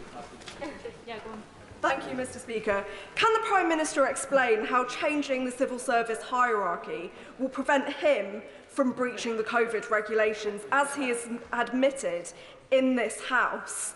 When will he take responsibility for his own actions, stop hiding behind other people? My constituents don't want another government department. They want him to resign. Prime Minister. Uh, Mr. Speaker, uh, she's wrong in what she said, and I direct her to what I've uh, said earlier on. Thank you very much, Mr. Speaker. It's been further revealed that in April 2021, as the Prime Minister partied, he also swiftly rejected the idea of bereavement bubbles for those who'd lost loved ones, suffered miscarriages, stillbirths, or a child neonatal death. Far from getting it, he's deflected, laughed, and smirked his way through this statement. He's a disingenuous man, isn't he? Yeah. Prime Minister. Uh, m- m- Mr. Speaker, I, I, no, uh, this has been uh, a, a harrowing and tragic experience for the entire country. Uh, we've done our best to, uh, to deal with it. And uh, I, as for what she says about what's been going on in number 10, uh, I, I ask her to look at the report, but also to wait for the, uh, the police inquiry. Oh, Owen Thompson. Thank you, Mr Speaker. Now, this afternoon we've heard the distraction, the deflection, there's confusion, and we can't even get the answers to the most simplest of questions about whether we can actually get the full report published when it's available. So, Mr Speaker, could I ask the Prime Minister, is it the case now that we're looking at a situation of hobble hobble, quack quack? Prime Minister. Mr. Speaker, I, I, I, nothing would uh, give me greater pleasure than to publish everything that uh, we currently have. But the fact is, Mr. Speaker, that there are legal impediments and we have to wait until uh, the police inquiry is concluded. Sir William Cash. Thank you, Mr. Speaker. Um, I, I accept entirely what the Prime Minister has just said. It is absolutely essential that we wait. It, it's absolutely essential that we wait until we hear the next stage in this, these proceedings in relation to any future investigations. I'd also like to draw attention to the historic achievements of this Prime Minister in relation, in relation to not only delivering Brexit, but in relation to delivering the vaccine rollout and in relation to his dealings with Mr Putin. And I believe that everybody should take that most firmly into account. Uh, I, I thank you very much, and and I think he's completely right. Uh, and uh, he might have added, by the way, that we have the fastest economic growth in the G7, uh, Mr. Speaker, thanks to the steps this government uh, has been taking. Terence. Thank you, Mr Speaker. We've established that there were parties. We are just really arguing about who is responsible. And as the Honourable Member for Thurrock said earlier, that's a minister. So if it's not him, is it the member for Surrey Heath or North East Cambridgeshire who should be facing the sack? Prime Minister. Uh, I remind the Honourable Lady what Sue Gray says in her uh, paragraph 12. No such conclusion can be drawn uh, so far, Mr. Speaker. She, she must wait. Uh, she must wait for uh, the conclusion of the inquiry. Janet Daby. Mr Speaker, the Prime Minister announced at the weekend that he would be calling President Putin to urge de-escalation of the situation in Ukraine. The Mirror have just reported uh, that today the call has been cancelled because he's been dealing with the Sue Gray report. So can the Prime Minister confirm that on a matter of such grave importance that this report is correct and that we will be speaking to Vladimir Putin as soon as he leaves the chamber? Prime Minister. Uh, Mr. Speaker, I will be speaking to President Putin as soon as I can. Layla Moran. Thank you, Mr. Speaker. There, I have read the report in full, and I think the most striking sentence was the one that there were failures of leadership and judgment in different parts of Number 10 and the Cabinet Office at different times. My constituents who've been writing to me whilst the Prime Minister has been speaking say that he should resign, but they also want to know the full facts. Once the Met has concluded, why could he not then publish the full unredacted report? Prime Minister. Uh, Mr. Speaker, uh, we'll have to see uh, where the police get to. We'll have to see the conclusion of their inquiry. We'll have to see what the legal position is then, Mr. Speaker. Mohammad Yasin. Thank you very much, Mr. Speaker.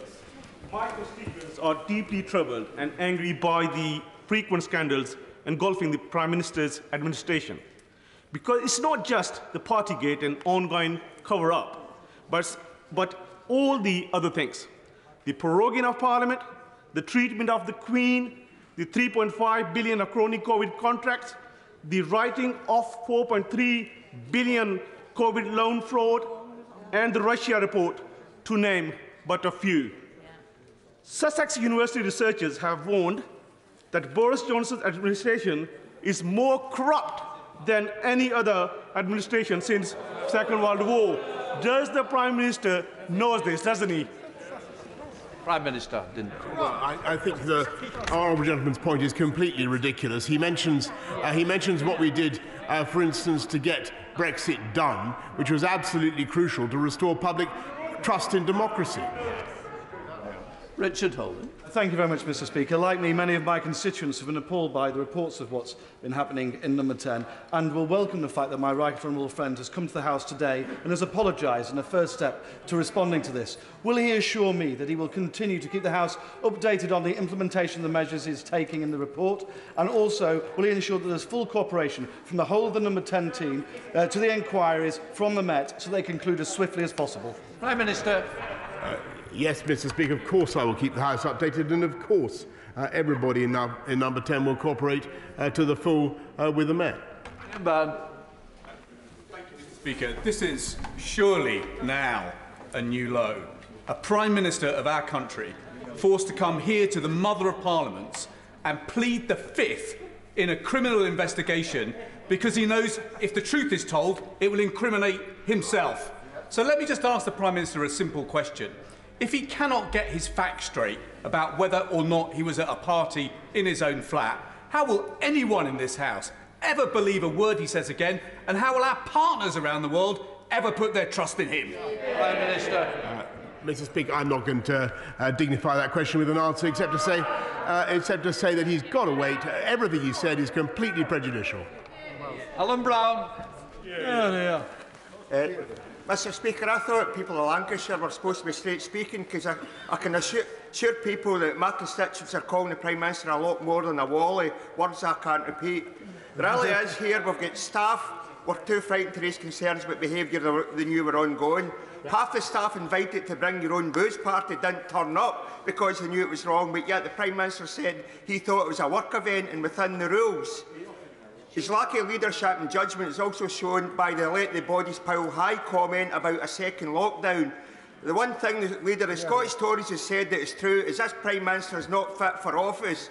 Now, given he'll do anything to save his own skin, does that mean the leader of the Scottish Tories is going to get binned as well? Yeah. Prime Minister. Uh, Mr Speaker, I direct him to what I've, I've said earlier on. Mick Whitley. I think uh, no, no one said in this House here this afternoon uh, that 155,000 people died of COVID. That's why we introduced the rules. But this is simply not the comprehensive report that the British public were promised for so long. But at least it's clear in its findings that there were serious failures, and I quote, to observe not just the high standards expected of those working at the House of Government, but also of the standards expected of the entire British population at the height of the pandemic. Does the Prime Minister accept responsibility for his failure to live up to the standards which the rest of us were expected to uphold? Prime Minister. Uh, Mr. Speaker, I, uh, Deputy, Mr. Deputy Speaker, I take responsibility for everything uh, that happened in Number 10 and that the government did throughout the pandemic. Barry Gardiner. The great report is clear that there should be no excessive consumption of alcohol in a workplace. Can the Prime Minister therefore assure the House that his own consumption of alcohol was not excessive, and in particular, that his judgment was at no time so clouded that he was in danger of telling the truth. Prime Minister. Uh, um, Mr. Speaker, I, I couldn't quite hear the end of the uh, right honourable gentleman's question, uh, but the answer is no. If he thinks I was I, I, I drunk too much, no. Alex Norris. Thank you, Mr Deputy Speaker. The Prime Minister wants my constituents to suspend their disbelief and wait for the Met Police to report. In which case, will he at least give them clarity that should the Metropolitan Police issue him with a fixed penalty notice for participation at his party, he will resign? Prime Minister. Mr. Speaker, he really needs to wait and see what the what the Met uh, decide. Andrew Gwynne. Thank you. We've had excessive whataboutery, bluster and bravado from the Prime Minister. I suggest to him politely that we need a lot more humility from him, given that whilst the Gray Report might be paper thin, it's very clear in the serious failings at number 10. Fish rots from its head. Can I suggest to the Prime Minister it's not a new Prime Minister's office we need, it's a new Prime Minister. Well, I, I, I hear him, and I simply repeat what I've said earlier on. Uh, I'm grateful to Sue Gray. We're taking action uh, following her report, but he needs to wait for the conclusion of the inquiry. Patricia Gibson. Thank you, Mr Deputy Speaker. Sue Gray has made it clear that this is not a report, but it's an update on the investigation into COVID breaches in Downing Street. Indeed, her, In her update, Ms Gray says she is extremely limited in what she can say and, yep. quote, it is not possible at present to provide a meaningful report. If it is the case that there's nothing to see here, move on, as the Prime Minister today is desperately trying to convince us, why has he repeatedly refused to commit to publish the full report even after the police investigation has completed? Yep. And what does it say about the benches opposite, those populating them, if they still them? genuinely think that he is the best amongst them to be Prime Minister? Mr. Speaker, that's not what I've said. Neil Coyle. Thank you, Mr Deputy Speaker. The Prime Minister told Parliament and told the British people that there were no parties. We now know he attended several, including one at which he was ambushed with cake in his most pathetic excuse yet. Given his previous statements, which we know to be patently false, how does he explain why this report says at least 12 parties in his home warrant police investigation? Prime Minister. Mr. Speaker, he's proved several times in that question that he hasn't got the faintest idea what he's talking about, and he should wait for the outcome of the inquiry. Rupa Huq. Mr Speaker, the Prime Minister and his apologists up to now had explained these things away as one-offs, you know, a work do, uh, ambushed by a cake, all those kind of things. But this report makes clear that it was a repeated pattern of behaviour. Yeah. The booze-ups after work that nobody else was having, all our constituents who followed the rules. So can I ask him as well, it also says that there was there's an investigation of a Downing Street party on the 13th of November 2020. Why did he tell my honourable friend for Hornsey and Wood Green on the 8th of December that no such gathering took place? And subsequently, he's told my right honourable friend, our leader, that anyone who from that dispatch box tells mistruths should resign. Is he a man of his words? Yes, uh, Mr. Speaker, she needs to, to look at what I said, and she needs to look at the outcome. She needs to look at the outcome of the inquiry. Christine Jardine. Thank you very much, Mr Deputy Speaker. Um, the Prime Minister said in a statement earlier that he understands the anger of people in this country. But does he also understand that while they've been watching this, for many people in this country, their greatest fears about how this would be handled have been realised. They've seen an apology, yes, but obfuscation, delay, tinkering, rather than an acceptance of a responsibility. The Prime Minister says he wants to go on and deal with the important issues facing this country. Perhaps the only way we will be able to do that is for the Prime Minister to accept that he has become an obstacle to it and resign. Minister. Uh, no, Mr. Speaker, we're going to get on with the job. Jeff Smith. Uh, thank you. Mr Deputy Speaker, the Prime Minister was wrong in something he said earlier. The Sue Gray update can be both damning and incomplete. And most of us can only guess how much more damning the full report is going to be. And his colleagues should worry about that. But I think he knows how bad it's going to be because he knows what's gone on. So isn't that the real reason why he won't commit to publishing the report in full when the police have completed their investigation? Prime Minister. No, Mr. Speaker, he's totally prejudging the whole thing. He needs to contain himself. No, he needs to contain himself and wait for the police to complete their inquiries. Drew Hendry. Thank you, uh, Mr Deputy Speaker. The Sue Gray update is not the report that this House deserves. It is not the transparency that the public were expecting. But it does make it very clear that were, there were failures of leadership at number 10. The Prime Minister is the leader at number 10. So will he now pack his suitcase or will he leave it to his officials to carry his cans? Yeah. Uh, Mr. Speaker, he, he just needs to, to look at the uh, report again and he needs to wait for the conclusions of the inquiry. Matt Western. Thank you, Mr Deputy Speaker. Look her in the eyes and tell her you never bend the rules. A lot of us remember that campaign. It cost tens of millions of taxpayers' money. On the 30th of November in 2020, he bent the rules, didn't he? Uh, Mr. Speaker, I refer him to what I've said earlier on in this House. And uh, frankly, Mr. Speaker, he needs to wait until the conclusion of the police inquiry. Stephen Flynn.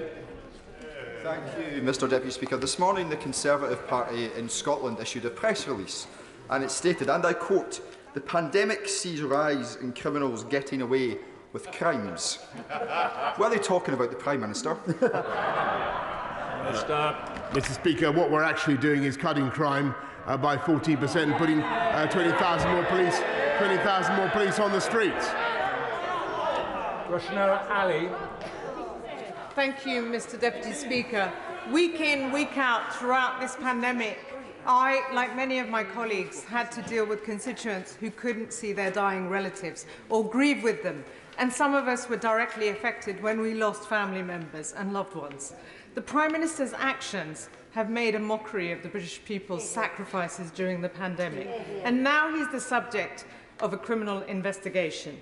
It's a new low for our country and our democracy, and it makes a mockery of our democracy to the rest of the world. If the Prime Minister takes responsibility for everything that, that has happened, as he has said, isn't it time that he put his party, this Parliament, and the country out of their misery and steps down so that we can move on and focus on the national interest because at the moment it is not possible because of the crisis that he and Number 10 have created. Prime Minister. Uh, no, Mr Deputy Speaker. Carol Monaghan. Thank you, Mr Deputy Speaker. It's clear that the Prime Minister has used these parties, like many an under-par manager, to buy popularity and favour. Yeah. Can the Prime Minister tell us if he's using the same techniques when negotiating treaties and trade deals with international leaders? Prime Minister. Uh, uh, no, Mr Deputy Speaker. Rachael Maskell. Thank you, Mr Deputy Speaker. Today should have been about contrition and remorse, but it seems that the Prime Minister doesn't understand the meaning of sorry.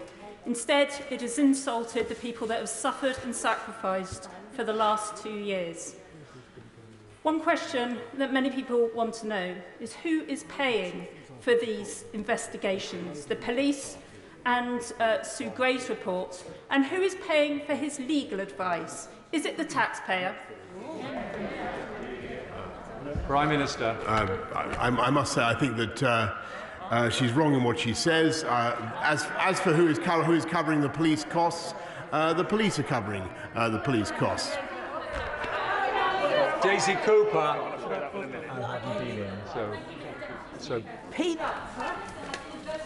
This as the Gray report, when he had read as far as the front cover, he would see it was called an update. Yep. It is because it is an update that it makes public trust in the Met's investigation even more important. The public must know that the Met will investigate without fear or favour. So can the Prime Minister confirm that not at any single stage anybody in number 10 or the Cabinet Office has sought to influence the Met's decision on delaying its initial investigation? Or was the delay a result of its own incompetence? Hmm.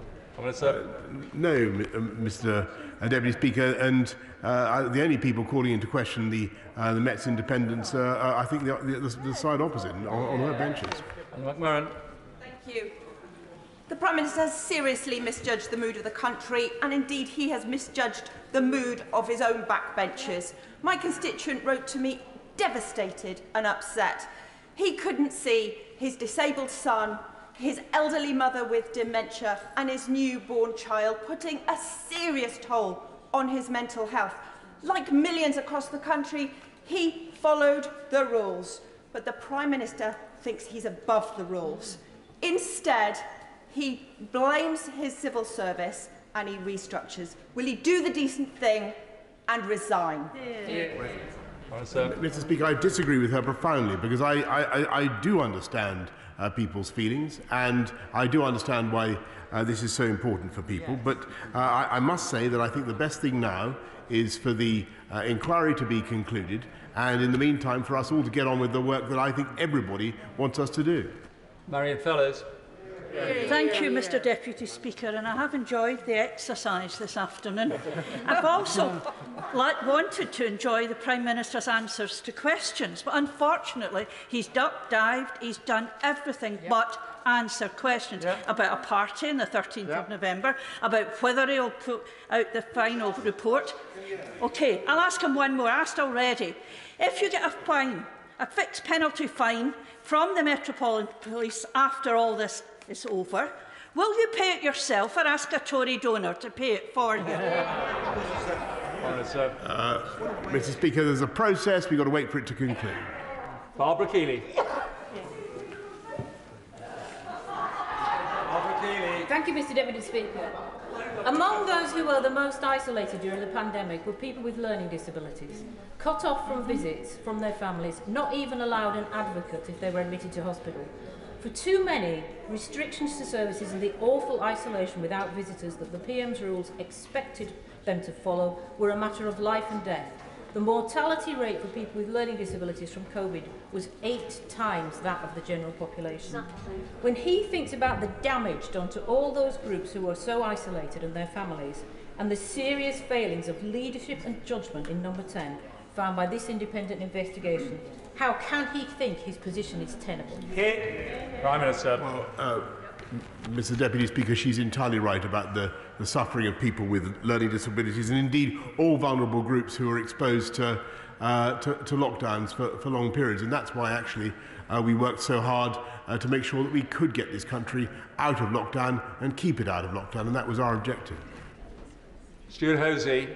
Mr Deputy Speaker uh, I don't need to wait for the full Sue Gray report, because this one tells me one important fact. There were a heck of a lot of parties. So can I ask the, there were a heck of a lot of parties, Prime Minister. So let me ask the Prime Minister, at which point during this catalogue of frivolity, while he was clearing last night's empty wine bottles off his desk before settling down to work the following afternoon, Did he conclude that having one rule for him and another one for the general public was undermining his own health messaging and costing people's lives? Prime Minister. Uh, Mr. Speaker, I mean, Mr. Deputy Speaker, he, uh, the, the honourable gentleman is uh, misrepresenting uh, what Sue Gray says. He's also, uh, perhaps inadvertently, uh, but he's also completely misrepresenting uh, what happened. Kim Johnson. Thank you, Mr Deputy Speaker. This report confirms what we already know, the abject failure in leadership at number 10. So will the Prime Minister take responsibility and do what the constituents in Liverpool and Riverside are asking for, your resignation, so that we can get on and deal with the crisis facing this country? Thank you. Prime Minister. Uh, uh, no, Mr Deputy Speaker, I refer to what I've said earlier on. Justin Matters. Thank you, Mr Deputy Speaker. On the 8th of December, the Prime Minister told this House, and I quote, I have been repeatedly assured since these allegations emerged that there was no party and that no COVID rules were broken. Well, just who gave him those assurances? Because given he was at some of the parties and at least one of them was his, in his own flat, he shouldn't need anyone else to tell him what happened. So it looks like when the Prime Minister spoke those words, he was either fooling himself or was he just trying to fool everyone else? Prime Minister. Uh, Mr Speaker, he needs to wait and see. He needs to wait and see uh, what the inquiry concludes. And, he, and that is what due process demands. And I stick, Mr Speaker, by what I said. I can see eight people standing, and that is the last eight I'm going to take, just to let you know. Rachel Hopkins. Thank you, Mr Deputy Speaker. Section 5.1 of the Ministerial Code says ministers must uphold the political impartiality of the civil service and not ask civil servants to act in any way which would conflict with the Civil Service Code. And finding six of Sue Gray's report, which I have read, says some staff wanted to raise concerns about behaviours they witnessed at work, but, uh, but felt unable to do so. So does the Prime Minister agree with me that if his staff, and in fact civil servants and workers everywhere, feel afraid to raise concerns regarding inappropriate behaviour at work, that they should contact their trade union rep or join a trade union? Uh, Mr. Deputy Speaker, that's why I've accepted the conclusions of the uh, Sue Gray findings in full, and uh, we will implement the changes. And I assume that everybody standing has also been here for the opening statement and throughout. Caroline Johnson. Thank you, Mr Deputy Speaker. Mr Deputy Speaker, I've listened carefully to the statement, the questions, the answers, and indeed to my constituents, many of whom have been devastated to hear that there may have been parties and some of whom have suffered great hardship. I'm very glad that the Prime Minister has come here to apologise and to take on board the recommendations, but I am concerned that this is taking time and attention away from key issues. This statement alone has been going on for nearly two hours. The Prime Minister has achieved great things with Brexit and vaccines, but has achieved great things with Brexit and vaccines, Can he assure this House and me and my constituents that this ongoing investigation and the re reorganisation of Number 10 is not going to take his laser-like focus away from the issues that matter to them? Yeah. Uh, yes, I can uh, give my honourable friend that uh, absolute assurance. Hilary Benn. Thank you very much indeed, Mr Deputy Speaker. Has a date yet been set for the Prime Minister to be interviewed by the Metropolitan Police in connection with their inquiry? Comment, uh, the, the police are independent and they must get on with their inquiry. Dave Doogan. Thank you, Mr Deputy Speaker. This reads like a dreadful, poorly written soap opera, an mm-hmm. unbelievable soap opera. I hear members opposite saying how important it is for their constituents to get on with the day job. My constituents are incandescent at the behaviour of this Prime Minister. Mm-hmm. Will he accept the damage he's doing to the office of elected representatives, all of us? And will he do the right thing and clear out? Yeah. Prime Minister. No, Mr Deputy Speaker, for the reasons I've already given. Steve Bonnar. Uh, Mr Deputy Speaker, we do know that staff are being made to work in conditions that made them feel uneasy, perhaps even unsafe, Prime Minister. And they also felt that they were unable to say something. People exposed to a potentially deadly virus unable to say something in their workplace while parties were raging on around about them. At least some, says Mrs Gray, represent a serious failure to observe the high standards expected of those working at the heart of government. Who is responsible for that, Prime Minister? Prime Minister. Uh, Mr Speaker, he's completely misrepresenting uh, what took place. Gavin Newlands. Come on. Uh, th thank you very much, Mr Deputy Speaker. Despite the omissions from Sue Gray's update, it makes crystal clear that the office he occupies and the government he leads behaved in a despicable and disrespectful way when the public faced the Yeah, gravest yeah. of threats. Does not accept that his personal conduct before becoming Prime Minister and since is completely unacceptable and if he had any respect for his own office, the public, indeed even a scintilla of integrity, he would announce his resignation to the 1922 committee tonight? Yeah. Prime Minister.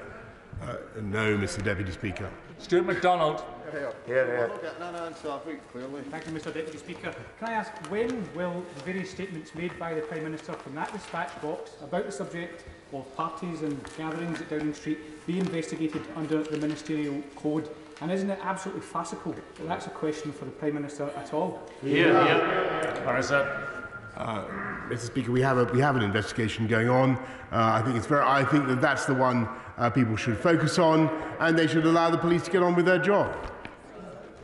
Richard Thomson. Thank you, Mr Deputy Speaker. in his statement, the Prime Minister said, sorry for the things we did not get right, sorry for the way this has been handled, a generic non-apology that will mean absolutely nothing to anyone that's heard it.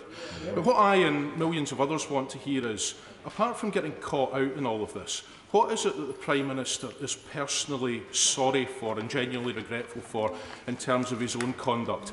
And if he just resorts back to that tired, hackneyed form of words that he used to begin with, doesn't it just show that it's not a new office of the Prime Minister that we need? It's a new Prime Minister in office. Prime Minister. Uh, Mr. Speaker, I, I've re re repeated several times uh, how sorry I am for any misjudgments that, that I made, uh, and I continue to apologise uh, for them. Uh, and uh, all I can say, uh, Mr. Deputy Speaker, is that we need to get on and, uh, and await the outcome of the inquiry, but allow the government uh, uh, and uh, to deliver on the priorities of this country, and that is to unite and level up, to continue to cut crime, to make colossal investments across our whole country, and that is what we are going to do. I'd like to thank the Prime Minister for his statement today and answering questions for just short of two hours. I'm just going to pause as uh, people leave and others take their places for the next statement.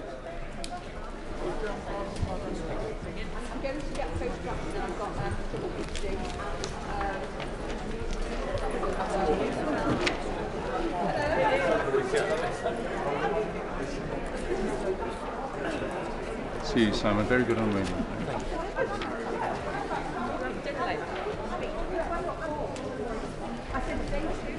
Order.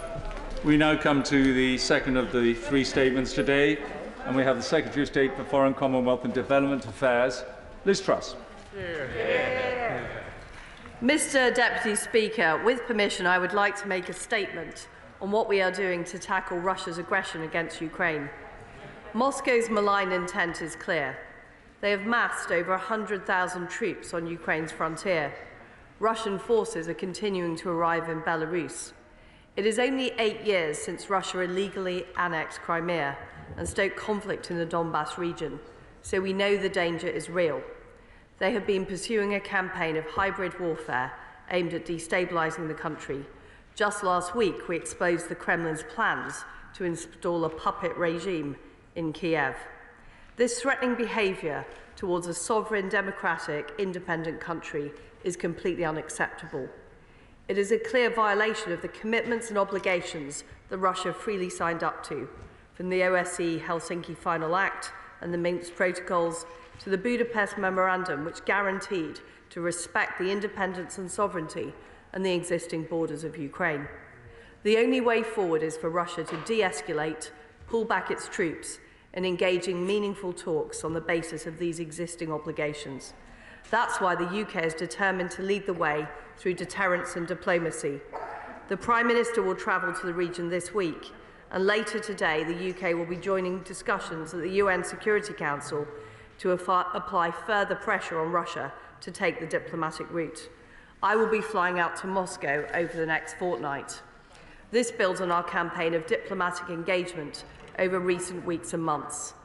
I have led calls through the G7, NATO, and the OSCE to urge Russia to desist in its reckless and destabilizing activities in Ukraine as well as Georgia, the Baltics, and the Western Balkans. I've raised these, raised these issues directly with Russian Foreign Minister Sergei Lavrov. Both the United States and NATO have set out areas where we could explore reciprocal measures to increase transparency, reduce risk, and take forward arms control. The ball is firmly in Russia's court. While we're determined to accelerate these efforts, we do so from a position of strength. We are combining dialogue with deterrence, and that's why the Prime Minister is considering options for further deployments of our armed forces to reassure and protect allies on NATO's eastern flank. We're preparing to offer to support NATO with additional fast jets, warships, and military specialists. As NATO's biggest spender in Europe on defence, we are prepared to deploy our forces accordingly.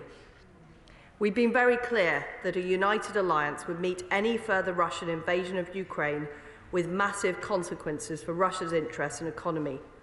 And we're preparing an unprecedented package of coordinated sanctions with our partners, which would impose severe costs. Today, I am setting out our readiness to act. We will be laying legislation before the House that will significantly strengthen our hand in dealing with Russia's aggressive action towards Ukraine. It will go further than ever before. Until now, the UK has only been able to sanction those linked to destabilisation of Ukraine.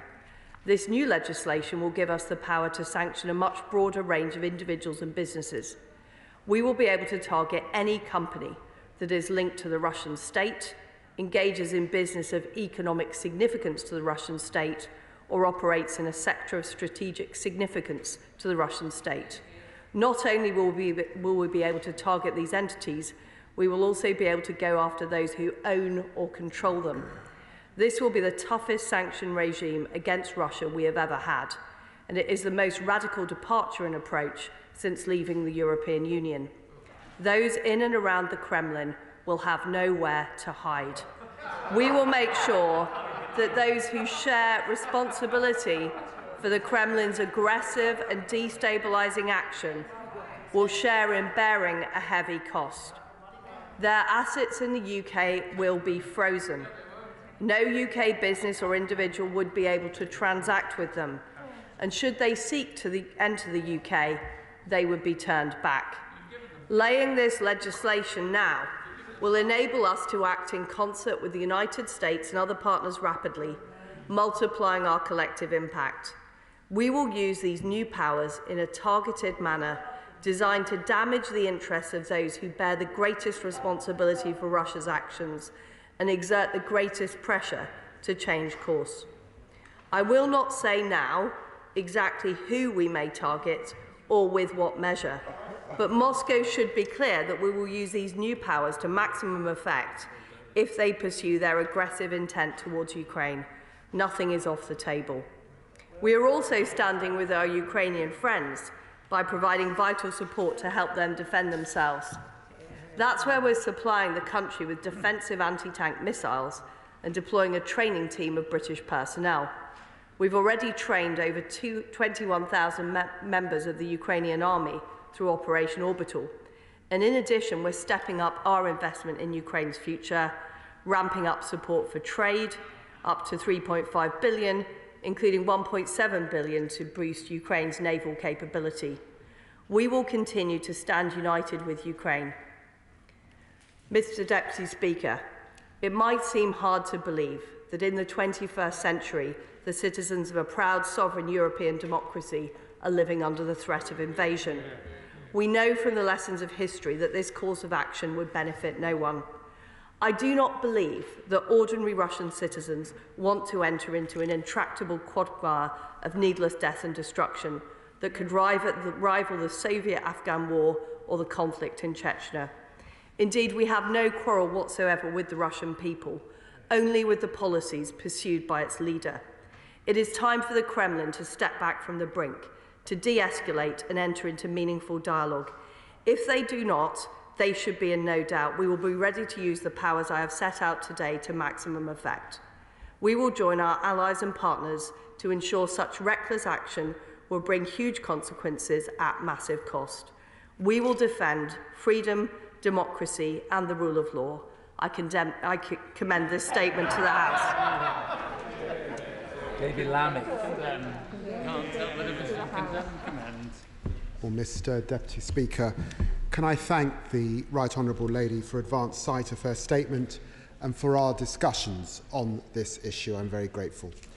Mr Deputy Speaker, as we in the opposition have been clear since this crisis began, we stand in resolute support of Ukraine's sovereignty and in opposition to Russian aggression.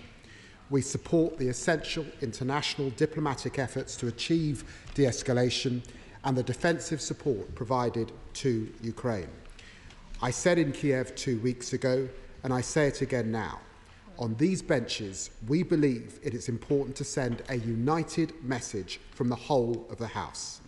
That is why we welcome moves by the government to lay the groundwork for a robust and extensive package of sanctions against Russia in the event of any incursion or attack on Ukraine.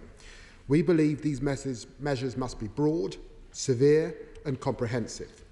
They must apply widely to crucial sectors of the Russian economy without gaps or loopholes. They must target corrupt elites who store their money in our country. They must target not just relevant Russian entities, but those who enable, who support, who service, who facilitate their activities. So, can the Foreign Secretary confirm that UK subsidiaries of any new sanctioned targets would, be would not be carved out of scope. We know that some oligarchs have used their wealth to seek influence and protect themselves from criticism. So, can I ask for her assurance that these measures will be applied without fear or favour? Given these measures were pre briefed and include broad categories of potential targets, can I ask her what assessment she has made of the risks of asset flight and what steps she's taken to protect against that. Mr Deputy Speaker, these sanctions are conditional on Russians' actions. Their purpose is to form a serious deterrent which, when matched by unified action and the work of the G7, NATO and the OSCE, will make President Putin think again. But there is much more we must do irrespective of the decisions made by President Putin. Things that it should not have taken an army threatening Ukraine to put in place. Things the opposition have repeatedly urged the government to address. For years, the Labour Party and colleagues from across this House have raised the alarm about the role of dirty money in keeping Putin in power. Mr Deputy Speaker, for too long our defences have been let down at home while the government looks abroad. Yeah. Warning after warning, report after report, the government has been asleep at the wheel. London is the destination of choice for the world's kleptocrats. We are the home to the services and the enablers who help corrupt elites to hide their ill-gotten wealth. We have a system of corporate transparency that permits the products of larceny on a grand scale to be hidden under our noses. And the result is the embarrassing spectacle of President Biden being warned that the widespread presence of suspect Russian money in the UK could jeopardise Britain's response to this crisis. This is not a matter simply of individuals though welcome though that is. It's about fixing a broken system, our openness to fraud and money laundering, our inadequate regulation of political donations, our lax mechanisms of corporate governments, our weakness to foreign interference. So, can I ask the Right Honourable Lady, where is the economic crime bill the government just pulled? Where is the comprehensive reform of Companies House? Where is the register? Of Overseas Entitlements Bill? Where is the foreign agent registration law? Where are the new counter-espionage laws? Where are new rules on political donations? Where is the reform of Tier 1 golden visas? Where is the replacement of the outdated Computer Misuse Act? Where is the reform of the Electoral Commission? And why does the government's election bill make these problems worse by enabling political donations from donors based overseas? Mr Deputy Speaker, the Right Honourable Lady's movement on sanctions is welcome, but there is much, much more to do. These steps at home are not distinct from sanctions or diplomacy abroad. They must form part of a unified and coherent response, one that has been urged consistently by the chair of the Intelligence Select Committee. If she truly wants to fix the problem, she must start there. Yeah. Foreign Secretary. Well, first of all, can I thank the Shadow Foreign Secretary for his constructive approach. And I think it's vital that all uh, members of the House demonstrate their support for freedom and democracy in the face of severe aggression by the Russian regime, not just on the borders of Ukraine, but also through Belarus, uh, into the Western Balkans, and in fact, across the world. And I will take forward the united message that I've heard from the whole House onto uh, our friends in Ukraine, who very much welcome uh, the support that they have been offered by the United Kingdom, both the economic support, uh, the support in terms of defensive weaponry, but also the support in the face of Russian aggression.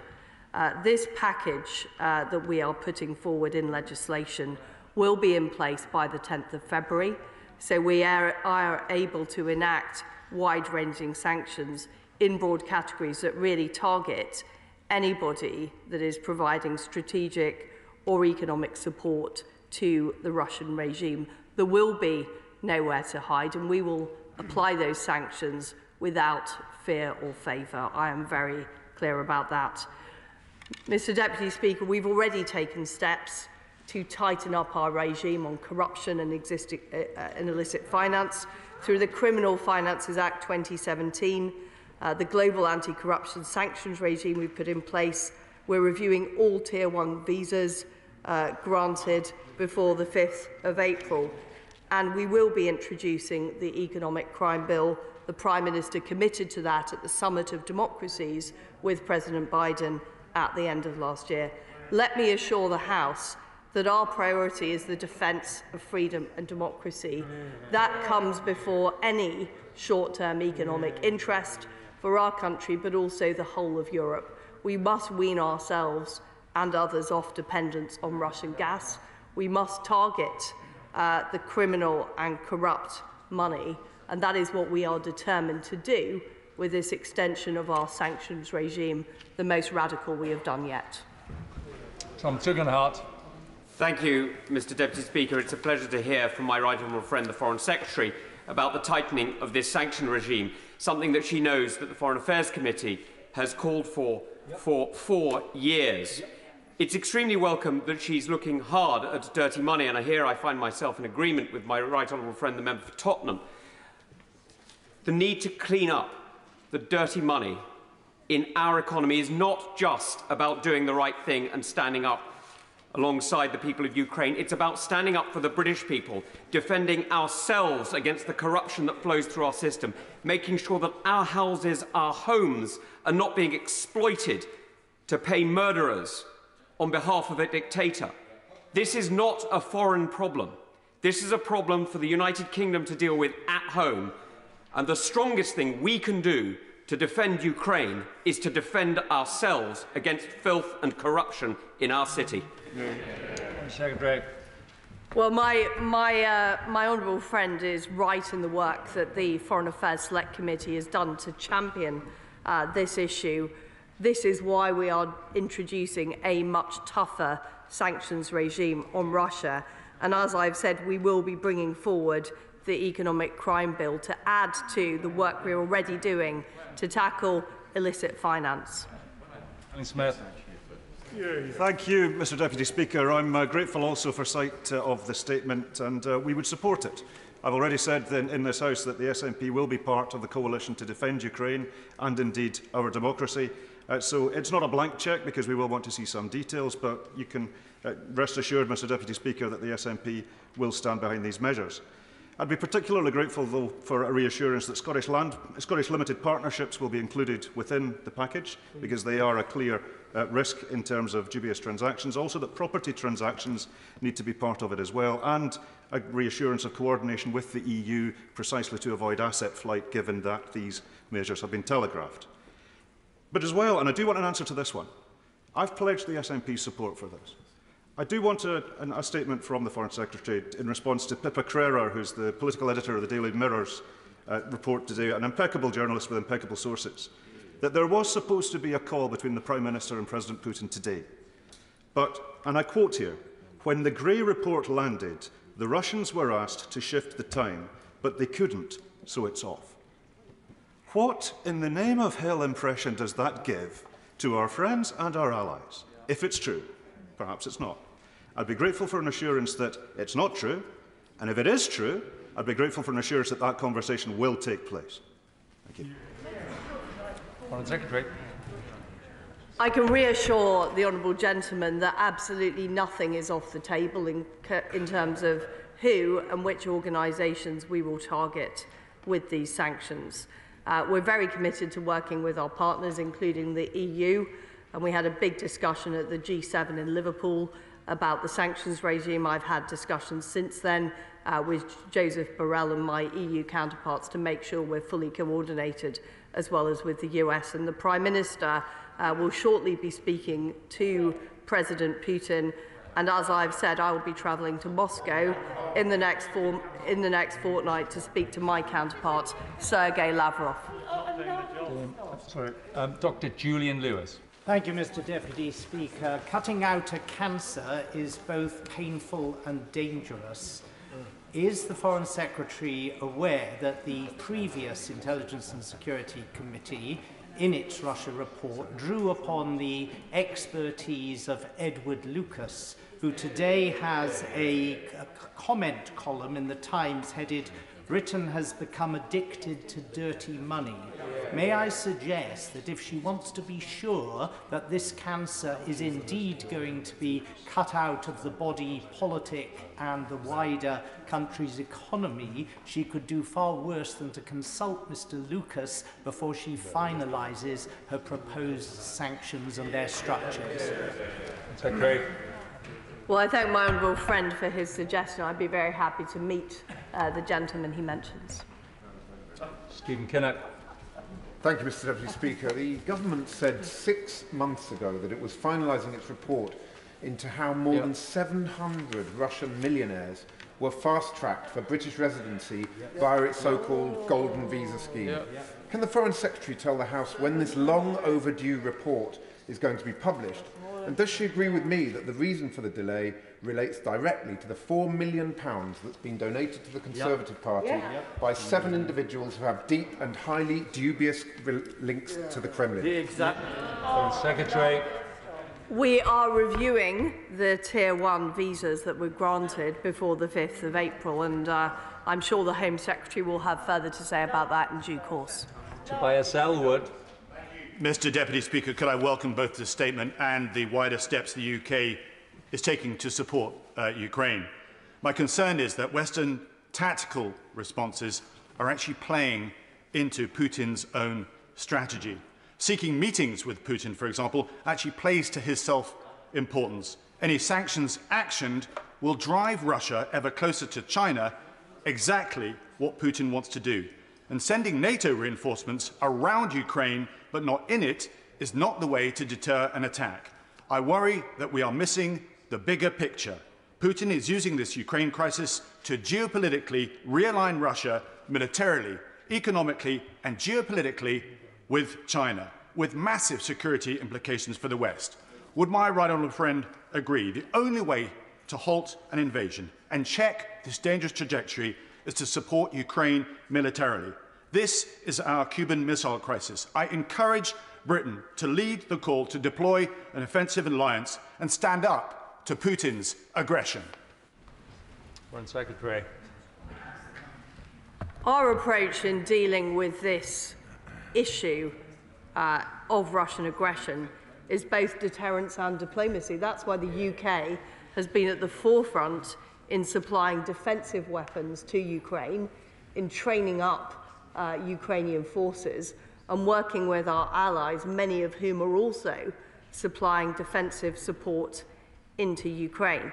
But we have to be clear that there is a difference uh, between a member of NATO uh, who does have a security guarantee, such as you know, Baltic states like Estonia, uh, where UK, UK troops are in place, and the situation in Ukraine. And in my view, the best way of deterring uh, Vladimir Putin from an invasion of Ukraine is first of all making it very clear that this will not be simple or easy.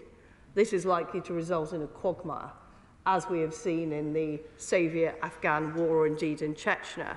And secondly, that there will be severe economic consequences. And those severe economic consequences are, of course, sanctions that target oligarchs and target companies uh, close to Vladimir Putin, but also uh, the not going ahead of Nord Stream 2.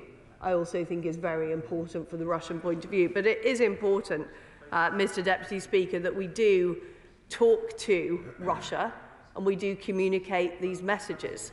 We will not resile uh, from our position about the protection of the open door policy into NATO, but we will communicate direct with Russia so they understand those messages. Kevan Jones. Thank you, Mr Deputy Speaker.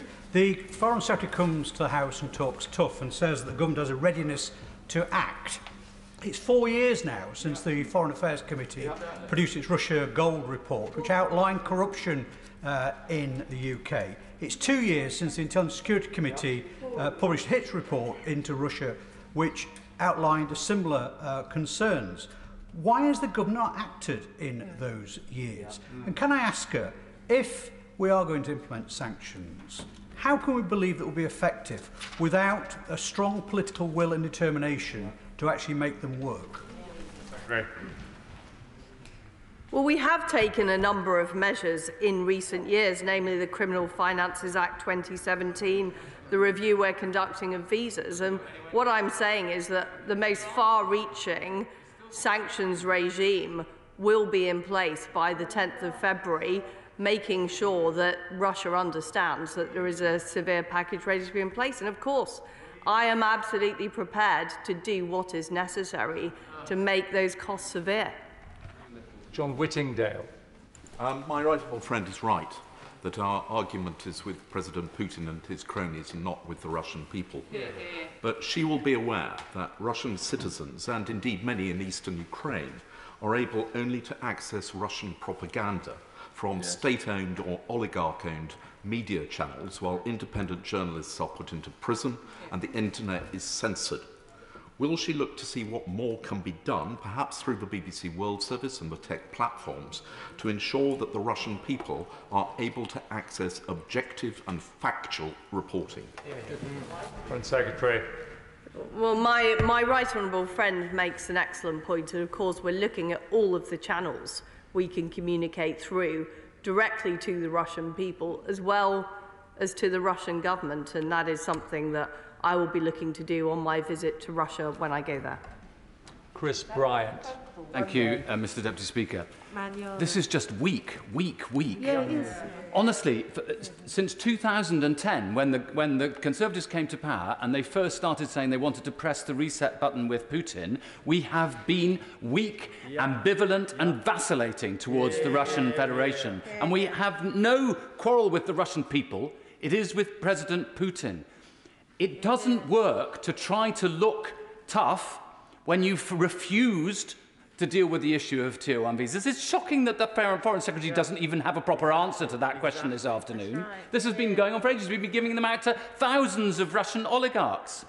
Um, she still hasn't got an answer, or I hope maybe she will have an answer now, to the question about um, unexplained wealth orders. If we can't do them, how is this new legislation going to make any difference? At all. This is far, far too late. It's yeah. not a question of the horse has bolted.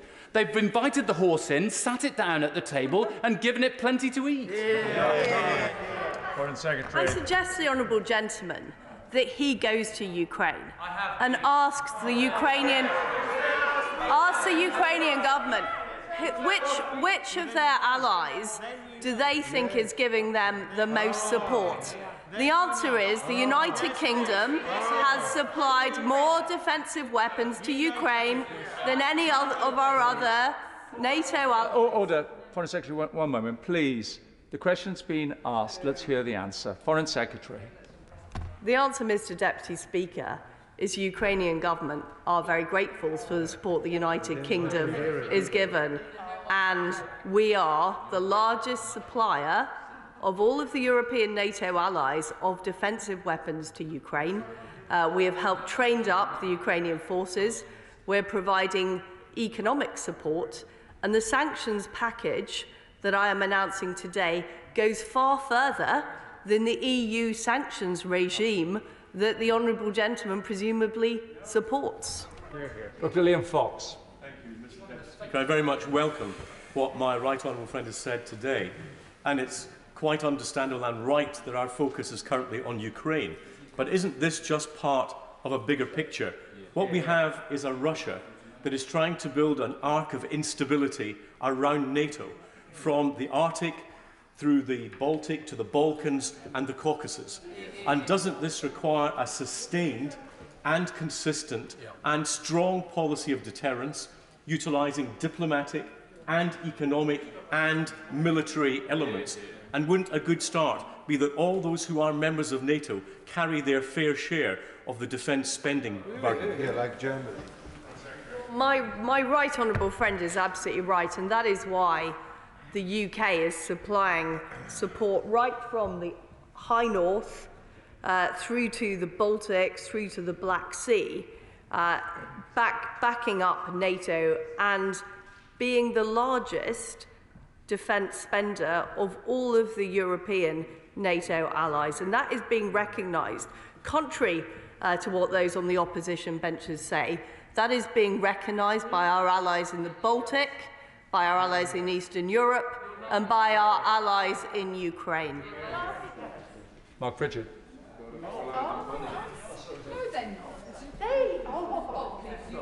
Oh, sorry, sorry, Mark, you have to wait one moment. I was caught up in the moment. Layla Moran. Thank you, Mr Deputy Speaker. We can't sanction what we can't see. And while I welcome this statement, what I'd like some clarity on is whether or not this new legislation is going to finally include a register of beneficial owners for overseas entities, because the Foreign Secretary will know that many of these oligarchs hide their money, particularly in UK property. The press release from the FCDO says that it's going to leave them nowhere to hide.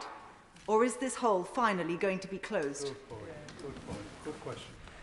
What the legislation we are putting forward is about is about being able to target entities and individuals that are of strategic or economic interest to the Russian state. So it's broadening it out much more widely than before, where we would only be able to apply sanctions to those who are actively destabilizing Ukraine. So this is, we can target asset freezing, uh, we can target the uh, ability to enter the UK of those individuals and entities. The register of interest she's talking about is part of the economic crime bill. That is something being brought forward by the Treasury, uh, and the Prime Minister is committed that that will happen this year. Mr Pritchard. Thank you, Madam Deputy Speaker. Oh, sorry, Mr. Uh, Deputy Speaker. We're both we're both at it. I apologise. So, can I uh, welcome the Foreign Secretary's statement today and the announcement of uh, new powers? Uh, long overdue, but I'm glad it's this government that's delivering and delivering uh, by the 10th of February. Can I say to her that this will also be welcomed by the Rada uh, in Kiev uh, and also by the government of, of Ukraine. Is it not the case that Ukraine is not uh, NATO's border, it is not the EU's border, but it is democracy's border, mm.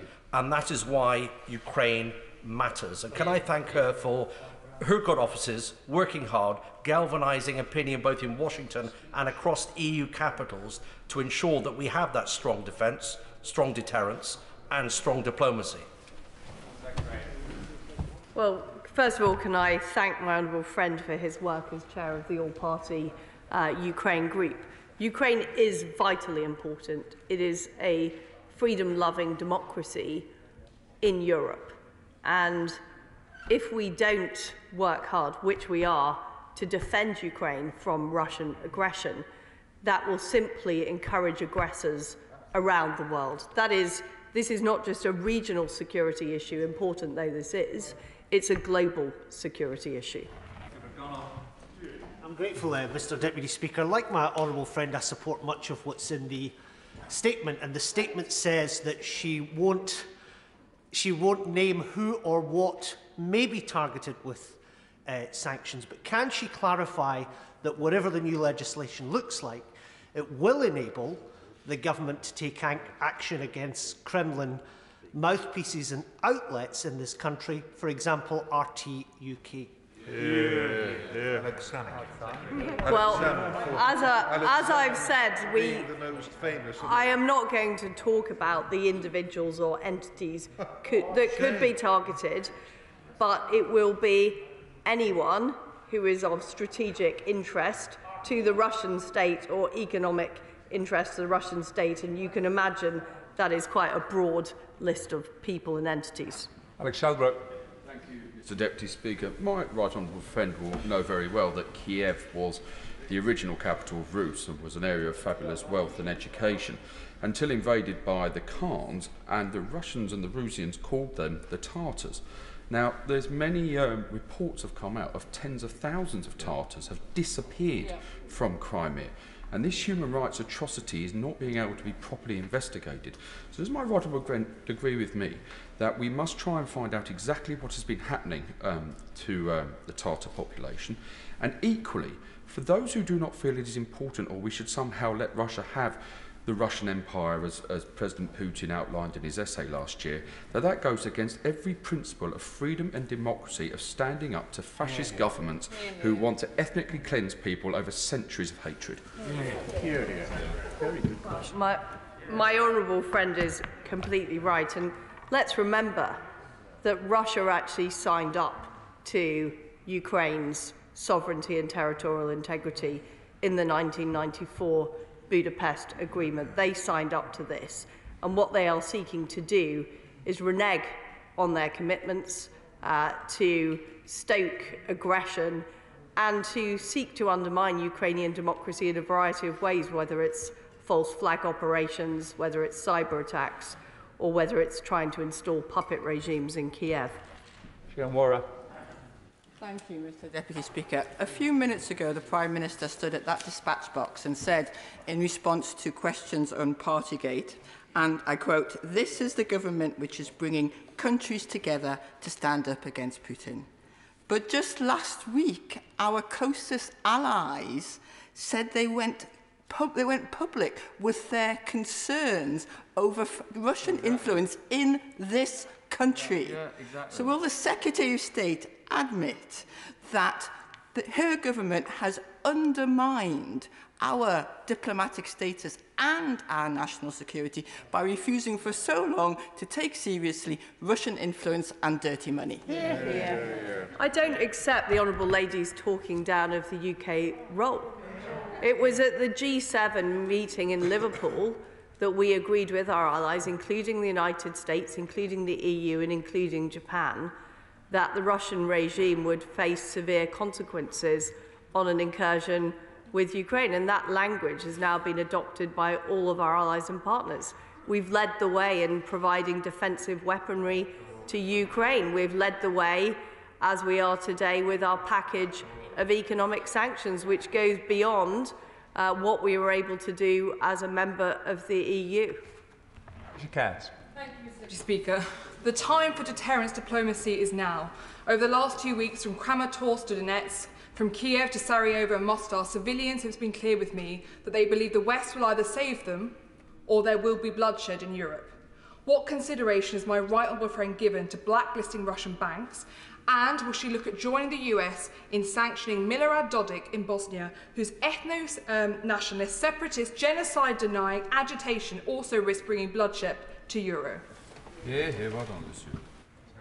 Well, my, I know my uh, honourable friend has recently been on a visit uh, to the Western Balkans, and we are absolutely looking at what more we can do on sanctions uh, to the regime there, as well as how we target some of the Russian entities she talked about. Jeremy Corbyn. Mr Deputy Speaker, any war on the borders between Ukraine and Russia will be utterly disastrous for the people of Ukraine, the people of Russia, and the future of um, peace across the whole of the continent of Europe. So when she travels to Moscow to have discussions with the Russian government, I hope she'll be able to reassert the agreements reached in the 1990s in recognising Ukrainian independence. But will she also try and take the whole thing a stage further and a new disarmament agreement with Russia, revisiting the previous agreements, and will she ensure that the British government, the British state is represented at the uh, Vienna Convention on Nuclear Weapons in the middle of March as a way of taking forward de-escalation of stress and threats, as a way of uh, winding down the tensions on the border. Because if we carry on, building up massive troops on both sides of the border, something awful is going to happen and it will be very hard to get out of it. Let's be clear here, it's the Russian regime that have amassed the tanks and troops on the Ukrainian border. It is the Russian regime that have escalated aggression, not just towards Ukraine, but also through Belarus and in the Western Balkans. And it's the Russian regime that needs to step back before they end up entering into what could be, and I do agree with the Honourable Gentleman on that point, a very serious quagmire with appalling consequences for the people of both Ukraine and Russia. And that is the point I will be making uh, when I travel to Moscow in the next fortnight. Bob Seeley. Deputy Speaker, I, I thank the Secretary of State for her very robust approach. Uh, and this is not a criticism of her, but we still lack a comprehensive and coherent approach to dealing with Russia's hybrid war. This is frankly a decade too late, so no criticism of her, and clearly deterrence isn't working. My question is on UK facilitators, which has been mentioned by a few other people.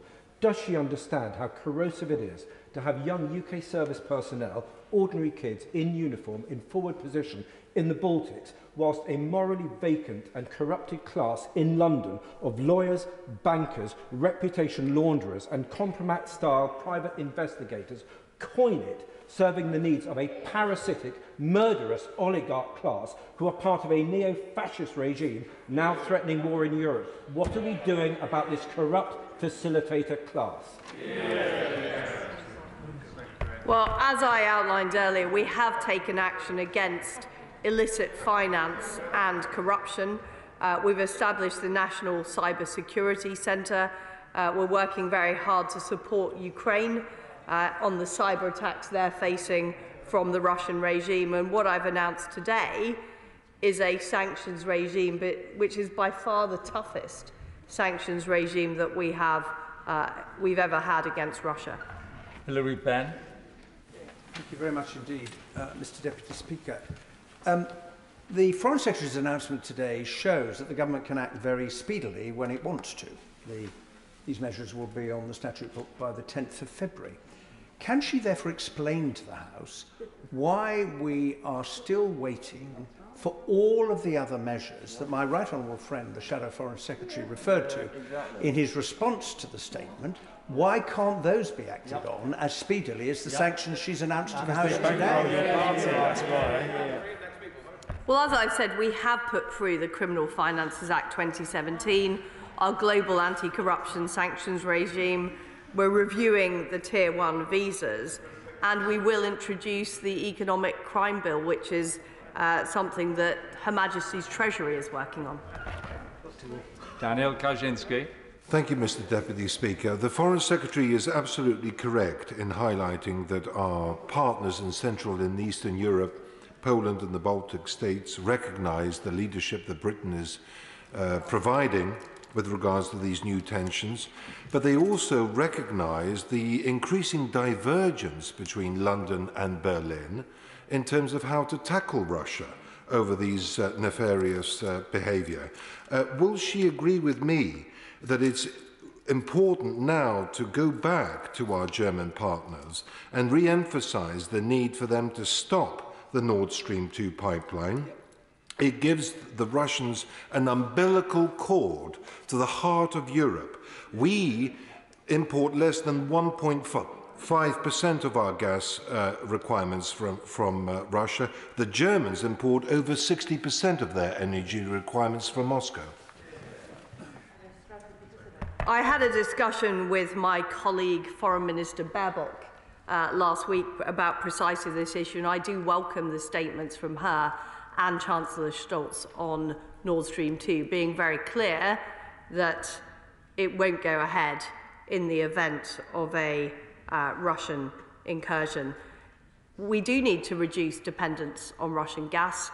I welcome the work the United States is doing to look at how supplies can be augmented.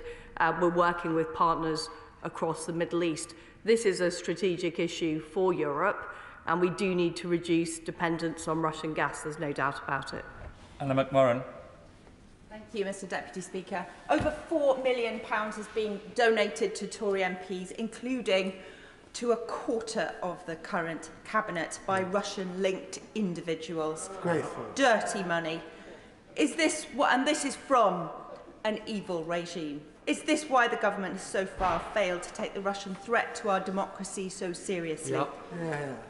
And how will what's announced today help? Yep. And also, will she pledge to this House to fly at least business class to Moscow in the next couple of weeks instead of using half a million pounds of taxpayers' money as she did when she flew to Australia. We have government planes for a reason. It's for government ministers to use on government business. Robert Jenrick. Thank you, Mr Deputy Speaker. In addition to targeted sanctions against Kremlin-linked individuals, our friends and allies in the US Senate are considering three further steps. One would be to sanction uh, Russian state banks to prevent the flow of foreign capital. Secondly, would be to have export controls on key technologies that are useful to the Kremlin. And thirdly, a number of senators led by Ted Cruz in the US Senate are proposing a return to sanctions against Nord Stream itself and related entities and individuals linked to the organisation. Will each of those be included in the bill that she intends to bring forwards? Well, as I've said, the legislation we're bringing forward is very wide-ranging and targets a number of sectors and interests in relation to the Kremlin. And I can assure my honourable friend that nothing is off the table. Ben Bradshaw. Thank you, Mr Deputy Speaker. Uh, our American allies have just issued an unprecedented rebuke to yeah. the British government. Um, saying that any new sanctions would be worthless as long as London remains the main international laundry mat for, laundry mat for dirty Russian yep. money. And I remember this Prime Minister tried to stop the publication of the Russia report and remove the whip from the right honourable gentleman who now chairs the Intelligence and Security Committee when his own Patsy candidate failed to get the job. I'm still not clear, though, whether she is reinstating the economic crime bill because that's not been said on the record yeah. from the dispatch box yeah. before. If she is, can the Admirable Lord Agnew have his job back, please? so, as I have said already this afternoon, we remain committed to bringing in the economic crime bill, and the Prime Minister committed uh, that that would be done this year. Richard Drax. Thank you, Mr Deputy Speaker. The right honourable friend from North Somerset rather took my thunder, but it's such an important point I'd like to raise it if I can reiterate it. If ever there was a reason to take a fresh look at NATO and its role and responsibilities, this threat by Russia of invasion in Europe must be it. Can my right honourable friend uh, tell us, are the other NATO countries that are not spending 2%, has she spoken to them? Has she given the reassurance that they will spend 2%? And if they haven't, what does she intend to do to make them spend 2% of their GDP? We are already spending more than 2% of our GDP. We're the largest European NATO supplier of uh, troops and security around, around Europe, and we want to see others step up. Because, as the Honourable Gentleman says, these threats are getting worse. Uh, we've seen an increase in aggression, and we need to see all NATO allies step up and fulfil their commitments. Caroline Lucas. Thank you very much, Mr Deputy Speaker. The government's attempt to claim some kind of moral high ground on the issue of Russian sanctions is sheer hypocrisy when her party has accepted donations from oligarchs, her government has turned a blind eye to Kremlin meddling in our democracy and has held open the door to Putin's cronies to have their money laundered in London.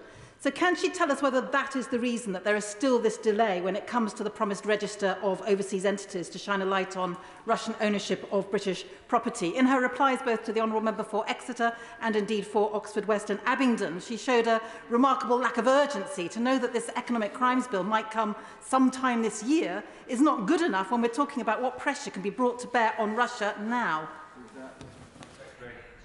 Well, I hoped the Honourable Lady would welcome the fact that we are introducing our toughest ever sanction regime on Russia, which will be pla in place by the 10th of February. We are acting with urgency to deal with this crisis.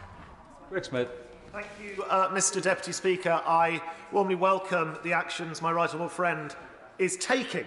Uh, there should indeed be nobody who thinks they are safe from sanctions. So can the Foreign Secretary confirm that this new legislation will ensure that any company of interest to the Kremlin would be able to be targeted so that there can be nowhere to hide for Putin's oligarchs?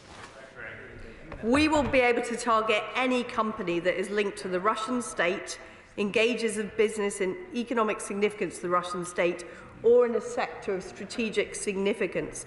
And we won't just be able to target those entities, we'll be able to go after those who own or control them. So the net is very wide. Ruth Cadbury. Thank you, Mr Deputy Speaker. I'm going to give the Foreign Secretary a third chance. Does she agree that the UK will continue, the UK government will continue to look weak on the Russian threat while Tory MPs and members of the other House continue to accept cash from Russian-linked individuals? Well, I had hoped the Honourable Lady would be welcoming the package of tough sanctions we're introducing today. In fact, that is what our allies across the world are saying. Nickie Aiken. Mr Speaker, I thank the Foreign Secretary for her statement. She is absolutely right. We do need to widen the breadth of sanctions on Russia to reflect the reality on the ground. In my constituency of the cities of London and Westminster, those realities are very clear to see of the dirty money that is being invested week in, week out. Can my right honourable friend give me assurances that this government will follow through on the legislation and ensure that the financial services and professional services involved will be held to account and that we take a banks and tanks strategy to fight corruption and the, the uh, aggression that Russia is showing to Ukraine and across Europe. We, we have taken steps to deal with illicit finance and corrupt elites through the Criminal Finance Act 2017, our anti-corruption sanctions regime. I've already talked about the commitment to bringing in legislation through the Economic Crime Bill. But what this is about today is showing that the UK is ready with a package of severe sanctions that could target any organisation or individual who is remotely uh, linked to the Russian state or indeed of economic significance to the Russian state, showing that there will be nowhere to hide in the event of an incursion into Ukraine. And this is about making sure that those economic consequences are as severe as possible. Uh, the Honourable Lady, my Honourable friend, makes some you know, excellent points around the broader issue, but what we are talking today is about deterring Vladimir Putin from an incursion into Ukraine. Andy Slaughter. Thank you, Mr Deputy Speaker. Why has the government delayed the Economic Crime Bill? Why is it doing nothing to stop lawfare in the UK courts? Why is the Serious Fraud Office being sued by oligarchs rather than indicting them? Without the laws, the courts and the prosecutors Yeah. to tackle corruption and dirty money here in Londonograd, aren't her threats empty and vacuous? And by the way, will she ensure that the Tories' Russian gold it finds its way back to Moscow? Yeah, yeah. Well, I've answered already the steps that Her Majesty's Treasury uh, and the uh, Ministry of Justice are taking on the issues that he talked about. But under direct uh, Foreign Office control is the sanctions regime. That is why we are taking action as soon as we can by the, 20, by the 10th of February to get these sanctions in place so that we can exercise them in the event of an incursion. Dr Luke Evans. Thank you, Deputy Speaker. And I'm grateful for the Foreign Secretary for her announcement on sanctions today. I noticed in her statement she said the UK will be joining discussions at the UN Security Council to apply further pressure on Russia today. Um, could she explain what she hopes to gain out of this and what a success would look like? Well, Russia is a member of the Permanent Security Council and they need to be held to account for their aggressive actions with respect to Ukraine. Dave Dugan.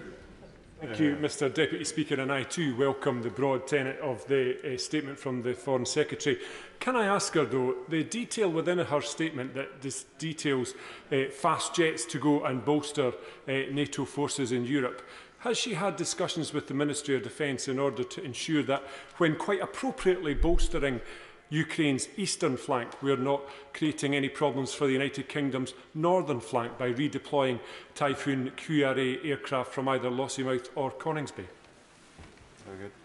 Well, I, I am in regular touch with the Defence Secretary to make sure, of course, we protect UK defence interests at the same time as providing air support, particularly around the Black Sea region, to make sure uh, we are working with our NATO allies to keep a free and safe Europe. Jonathan Edwards. Mr uh, Deputy Speaker, President Putin is reported as saying whoever becomes the leader in the sphere of artificial intelligence will become the ruler of the world. Considering the dangers posed by lethal autonomous weapons, can she explain why the British government seems reluctant to support efforts to place legally binding instruments to control their development and use? Well, we are shortly about to launch our international tech strategy, which will talk precisely about setting standards in areas like artificial intelligence, areas like quantum, because it's important that it is the free world uh, that is setting those standards rather than being dictated by authoritarian regimes.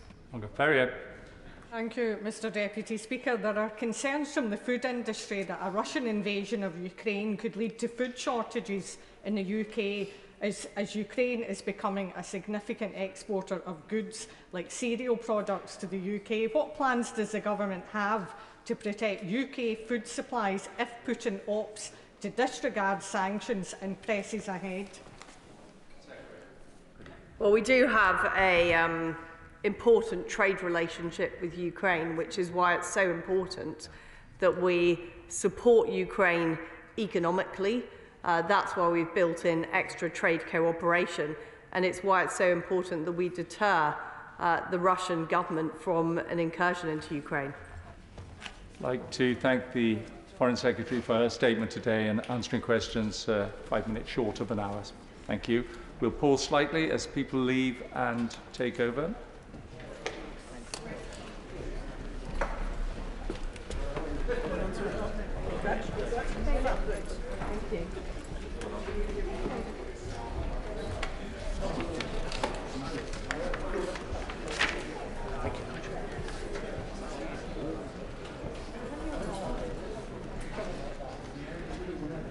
Order. Order. We now come to the third statement today from the Secretary of State for Health and Social Care. Sajid Javid. Mr Deputy Speaker, with your permission, I'd like to update the House on the vaccination as condition of deployment. Last Thursday, we woke up to a new phase of this pandemic as we return to Plan A. People are no longer advised to work from home. Face coverings are no longer mandatory organisations no longer have to require the NHS COVID pass. And from today, there's no limit on the number of visitors allowed to care homes. Week by week, we are carefully moving from our, our COVID response from one of rules and restrictions to back to one of personal responsibility. We're able to do this because of the defences that we've built throughout this pandemic in vaccines and antivirals, in testing and surveillance. We know, of course, that COVID 19 is here to stay. While some countries remain stuck on a zero COVID strategy and others think about how they will safely open up, here we are showing the way forward and showing the world what successfully living with COVID looks like. The principle we're applying is the same principle that's guided our actions throughout this pandemic, and that is to achieve the maximum protection of public health with the minimum intrusion in people's everyday lives. To me, that is what learning to live with COVID is all about. Even with this progress, Mr. Deputy Speaker, we must of course remain vigilant. While overall cases and hospitalisations continue to fall, we are seeing rises in cases in primary and secondary school children. Part of living with COVID means living with new variants and subvariants. Our world-class health surveillance operations are currently keeping a close watch on a subvariant of Omicron called BA2, which the UK Health Security Agency has marked as a variant under investigation, one below a variant of concern. 1,072 genomically confirmed cases of BA2 have been identified in England, while early data from Denmark suggests that BA2 may be more transmissible, there is currently no evidence that it is any more severe. In addition, an, an, initial analysis of vaccine effectiveness against BA2 reveals a similar level of protection to symptomatic infection compared to BA1, the original variant of Omicron, which underlines once again the importance of being vaccinated against COVID 19 and the imperative to get the booster if you're eligible. Mr. Deputy Speaker, nowhere is vaccination more important than in our health and social care system. Throughout this pandemic, we've always put the safety of vulnerable people first, and we always will do. It has always been this government's expectation that everyone gets vaccinated against COVID 19, especially those people working in health and social care settings who have a professional duty to do so. When designing policy, there will always be a balance of opportunities and risks, and responsible policy making must take that balance into account. When we consulted on vaccination as a condition of deployment in health and wider social care settings, the evidence showed that the vaccine effectiveness against infection from the dominant Delta variant has been or was between 65 and 80%, depending on which of the vaccines that you had received. It was clear that vaccination was the very best way to keep vulnerable people safe from Delta. Because, quite simply, if you're not infected, you can't infect someone else. Balanced against this clear benefit was the risk that there would always be some people who would not do the responsible thing and choose to remain unvaccinated, and in doing so, choosing to walk away from their jobs in health and care. Despite it being their choice to leave their jobs, we have to consider the impact on the workforce in NHS and social care settings, especially at a time when we already have a shortage of workers and near full employment across the economy. In December, I argued, and this House overwhelmingly agreed, that the weight of clinical evidence in favour of vaccination as a condition of deployment outweighed the risks to the workforce. It was the right policy at the time, supported by the clinical evidence, and the government makes no apology for it. It has also proven to be the right policy in retrospect, given the severity of Delta. Since we launched the consultation on vaccination as a condition of deployment in the NHS and wider social care settings in September, there has been a net increase of 127,000 people working across the NHS who have done the right thing and got jabbed, becoming part of the 19 out of 20 NHS workers who have done their professional duty. During the same time, we have also seen a net increase of 32,000 people getting jabbed in social care, including 22,000 people in care homes and 10,000 people working in domiciliary care. I'm grateful to the millions of health and care colleagues who have come forward to do the right thing, and the health and care leaders who have supported them. Together, they've played a vital part in raising our wall of protection even higher and keeping thousands of vulnerable people out of hospital this summer. When we laid the November regulations, the Delta variant represented 99% of infections. A few short weeks later, we discovered Omicron, which has now become the dominant variant in the UK, representing over 99% of infections. Incredibly, over a third of the UK's total number of COVID 19 cases have happened in just the last eight weeks. Given that Delta has been replaced, it's only right that our policy on vaccination as a condition of deployment is reviewed. So I ask for fresh advice, including from the UK Health Security Agency and England's Chief Medical Officer. In, in weighing up the risks and opportunities of this policy once again, there are two new factors. The first is that our population as a whole is now better protected against hospitalisation from COVID 19. Omicron's increased infectiousness means that at the peak of the recent winter spike, 1 in 15 people had a COVID 19 infection, according to the ONS. Around 24% of England's population has had at least one positive COVID 19 test. And as of today in England, 84% of people over 12 have had a primary course of COVID 19 vaccines, and 64% have been boosted, including over 90% of over 50s. The second factor is that the dominant variant, Omicron, is intrinsically less severe. When taken together with the first factor, that we now have greater population protection, the evidence shows that the risk of presentation to emergency care or hospital admission with Omicron is approximately half of that for Delta. Given these dramatic changes, it is not only right but responsible to revisit the balance of risks and opportunities that guided our original decision last year. While vaccination remains our very best line of defence against COVID 19, I believe that it is no longer proportionate to require vaccination as a condition of deployment through statute. So, Madam Deputy Speaker, today I am announcing that we will launch a consultation on ending vaccination as a condition of deployment in health and all social care settings. Subject to the responses and the will of this House, the Government will revoke the regulations.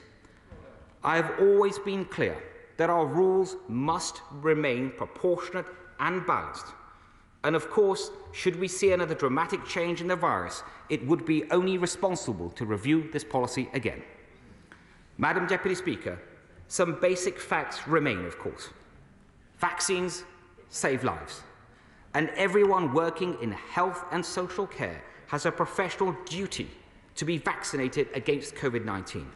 So while we will seek to end vaccination as a condition of deployment in health and social care settings using statute, I am taking the following steps.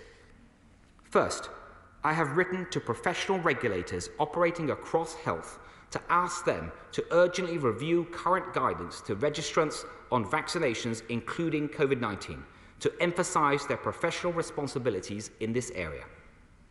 Second, I have asked the NHS to review its policies on the hiring of new staff and the deployment of existing staff, taking into account their vaccination status.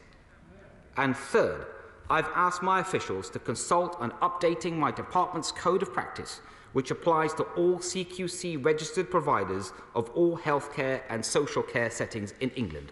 They will consult on strengthening requirements in relation to COVID 19 including reflecting the latest advice on infection protection control. And finally, Madam Deputy Speaker, our vital work to promote the uptake of vaccines continues. And I'm sure that the whole House will want to join me in thanking NHS trusts and care providers for their relentless efforts in putting patient safety first. Madam Deputy Speaker, I also wish to thank the Shadow Health Secretary and the party opposite for their support of the government's approach to this policy area. One of the reasons that we have the highest vaccine uptake rates in the world is because of the confidence our vaccines that, that, that comes the confidence that comes from this place from all sides of the house. We may not agree on everything, but when it comes to vaccination, together we have put the national interest first. It is now in our national interest to embark on this new phase of the pandemic where we keep the British people safe while showing the world how we can successfully learn to live with COVID 19. I commend this statement to the House. Shadow Secretary of State. Hear, hear. Thank you, uh, Madam Deputy Speaker. I thank the Secretary of State for advance sight of his statement today. Uh, and can I also thank him for his regular contact and briefings on this issue at both ministerial and official level. Uh, he's right to say that we've worked with the government to ensure uh, maximum take-up of the vaccine across uh, health and social care, uh, and we don't regret that decision. Indeed, we welcome the decision that he's come to today. And let me be clear from the start vaccines are safe, effective, and the best defence that we have against the virus.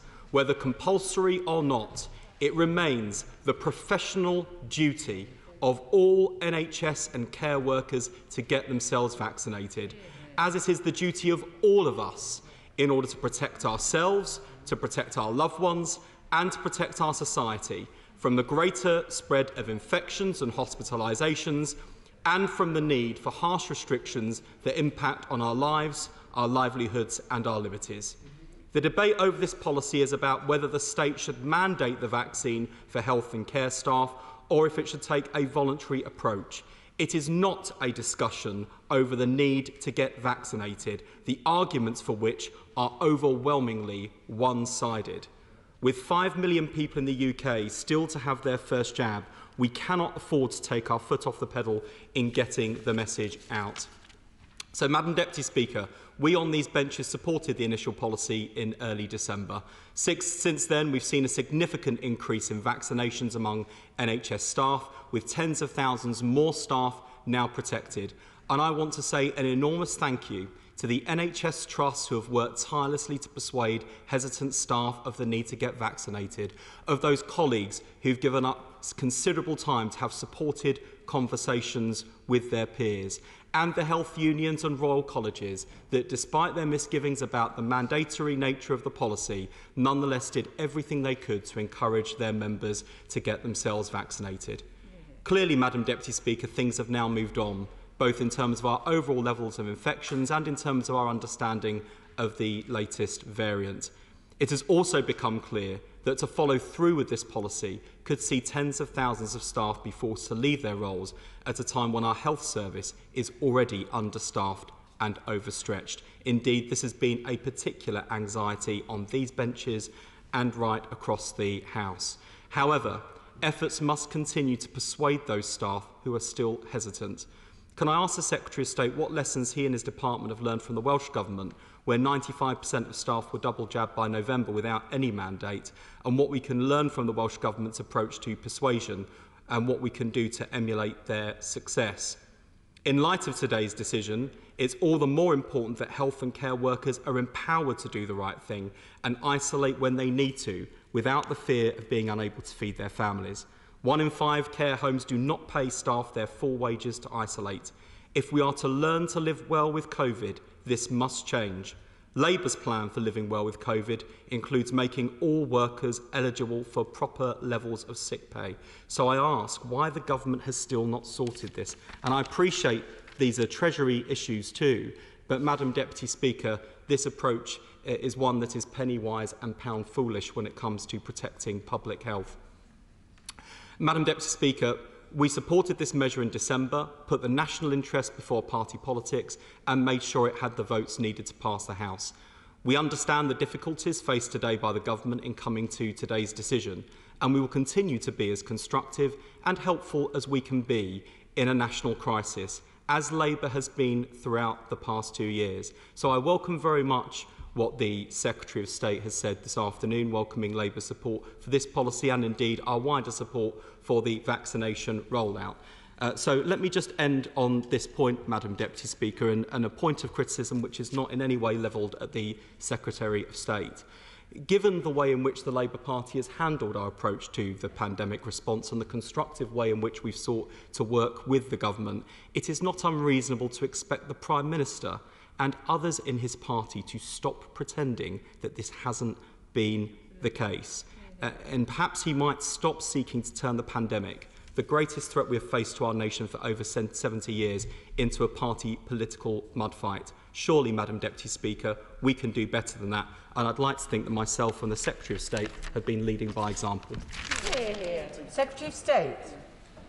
Thank you, Madam Deputy Speaker. Can I once again thank the honourable gentleman uh, for his approach to this policy areas and, and vaccinations uh, in, in general. And he, he's absolutely right in the, in, in the comments he's made about that and the importance of uh, working a, across the House and working together on, on such an important issue in the national interest, as he has done. And, and, uh, and I very much uh, welcome uh, that approach. I mean, uh, many, uh, not all countries have uh, such an approach to such an important issue, and they have sadly paid a price for that. And I do believe that one of the reasons that we have such high vaccine uptake in this country is because of the cross-party approach that has been taken. And I, uh, once again, I do thank the honourable gentleman uh, for that approach. And he's also right to, to point to the, uh, the safety and effectiveness of the vaccines as uh, independently uh, set out by our world-class regulator, the MHRA, and other reputable regulators uh, across the world. And and no one should doubt the safety and effectiveness of, of, the, of the vaccines. It is because of the success of this country's vaccination program that we are able uh, to open up again in the way that we have. We are able to start returning to normal life. And very importantly, for the people that we are talking about today, those working, those fantastic people working in the NHS and cross social care, that one of the key reasons why we've been able to keep down the pressure on uh, NHS in, in particular is because so many people have come forward and, and got vaccinated. And that's why it is, remains troubling, Madam Deputy Speaker, that, that there are still some people in the NHS in, in particular uh, that, that refuse to get vaccinated, even when they know that it is safe and effective, and, and do not do the responsible thing and act in a professional way. And so we will keep uh, that, that, that the, the, work uh, that we will do to, to work with those people in a positive way and try to persuade them about the benefits of vaccination, provide them with the information that they, they need. Uh, we can continue uh, with the work of one-to-one -one meetings with clinicians if necessary and encourage them to make that positive choice. But it will be about encouragement and helping them to come uh, to, to the right decision. And we will learn and, and look across the UK what other parts of the UK done and making sure that we have the very best practice and have learned uh, from, uh, from each other. And then finally, on the, on the point of um, sick pay that the Honourable Gentleman uh, raised, that I do understand what he's saying. I will just point to the, the, the fact that we have kept rules in place that allow sick pay, pay to be claimed from uh, day one, and also there's a hardship uh, fund that is in place to give extra support where needed. Chair of the Health Select Committee, Jeremy. Thank you, Madam Deputy Speaker. My right honourable friend knows that my instinct is to support him in the very difficult decisions he has to take in a pandemic, and I think he's doing an excellent job. But I do have some concerns about today's announcement. I think they're concerns that may not be shared widely in this House, so I hope my uh, colleagues will indulge me if I explain why. Frontline workers have done an extraordinary job in this pandemic, but I have yet to meet a single one that believes that anyone in contact with patients – has a right to put them to increased risk by not having a vaccine unless there is a medical exemption. And my concern is that having marched the NHS to the top of the hill, having actually won a very important patient safety argument, we're now doing a U-turn. And my question is, what will happen the next time uh, the Secretary of State wants to introduce a, an important vaccine, for example, for flu and make it mandatory? And isn't the real reason that we made this decision because we have a staffing crisis to which the government has still not brought forward its plans to address, and when will those plans be brought forward? The, the, my right honourable friend uh, speaks with, with great experience, and uh, I have the utmost respect for him, especially given the, the many years that he has spent you know, successfully running uh, this department.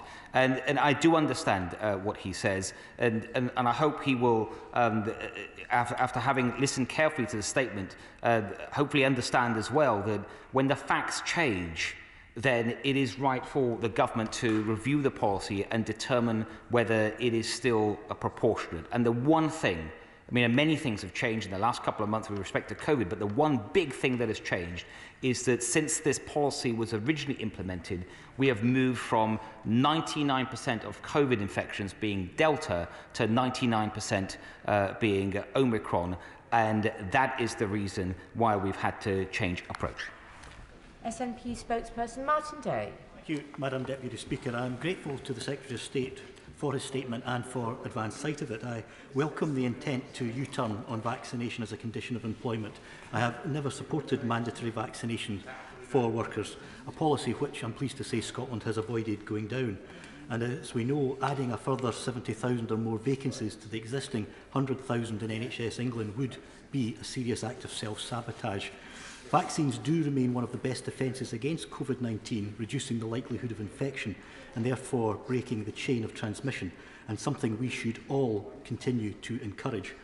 The Scottish Government has pursued an educate and encourage strategy in its vaccine rollout, a strategy which has resulted in a higher vaccine take-up to date through entirely voluntary take-up, with the five most vaccinated areas in the UK all being in Scotland. So why is the UK Government taking so long to drop its damaging policy and adopt the Scottish practice?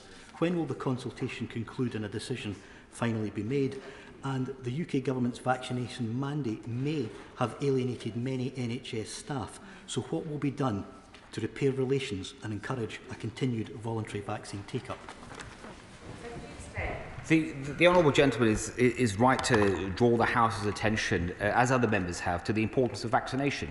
It is, uh, uh, and I think uh, this is reflected in his remarks, it is uh, the UK's first line of defence against COVID. Thankfully, uh, we have, uh, as, as the UK, uh, also uh, put in place many other defences with antivirals, uh, for example, used across the UK, the, the, the testing uh, the regime that we have, the surveillance regime. But vaccines are the first line of defence, and he's right to uh, talk about encouraging as many people as we possibly can, in, whether they work in health or social care or otherwise, but encouraging them uh, to, to take up vaccine if they have so far not done so. And, and, the, and the best approach uh, overall, as a general approach, he's right, is educating and informing, and that's what we will continue to do. Esther McVey. Madam Deputy Speaker. What a disappointment this statement is today. Having read the newspapers, I was hoping I'd be able to come here and congratulate the Secretary of State um, that it, on the government's recent conversion to common sense in halting the mandatory vaccination process of NHS workers. Instead, what he's doing is doing a half and half decision today, knowing the Damocles sword hangs over those 100,000 NHS workers because they've got to have their first vaccination on Thursday. And then he will be sending them on a pathway to unemployment, along with thousands of other care workers who will already have lost their job. What I want to know is what is he now going to do to help those thousands of people get a job and what compensation will he be paying to them? Um, Madam Deputy Speaker, uh, I'm very happy to clarify the, the point that's been raised by my uh, right honourable friend. Uh, there, there will note because the government has made a, a decision on this, which I've been hopefully I've been very clear about uh, in, in my statement earlier. Uh, whilst uh, there, for statutory reasons there needs to be a consultation, it will be a two-week consultation. then there will be a SI uh, presented to the House, and obviously it's to be subject to the to the will of the House. The government has made its decision uh, on this, and uh, we the NHS uh, will be writing today to all NHS trusts and the department will be contacting uh, the, the um, uh, care home providers as well in, in the wider social care settings in domiciliary care uh, to make it clear that the deadline that my right honourable friend has referred to is no longer applicable. And so uh, I'm very happy to, to make that clear. She's raised an important point, uh, but uh, whilst it is subject to this House, the, the, the, there will be no uh, further enforcement uh, of the regulations for the reasons that I've set out today. Rachael Maskell. Madam Deputy Speaker. The Health Secretary has not only bullied and threatened uh, NHS staff at a time when they are so fragile, but ignored the Royal Colleges and all of the trade unions in saying that the uh, initial statutory instruments should not have been put.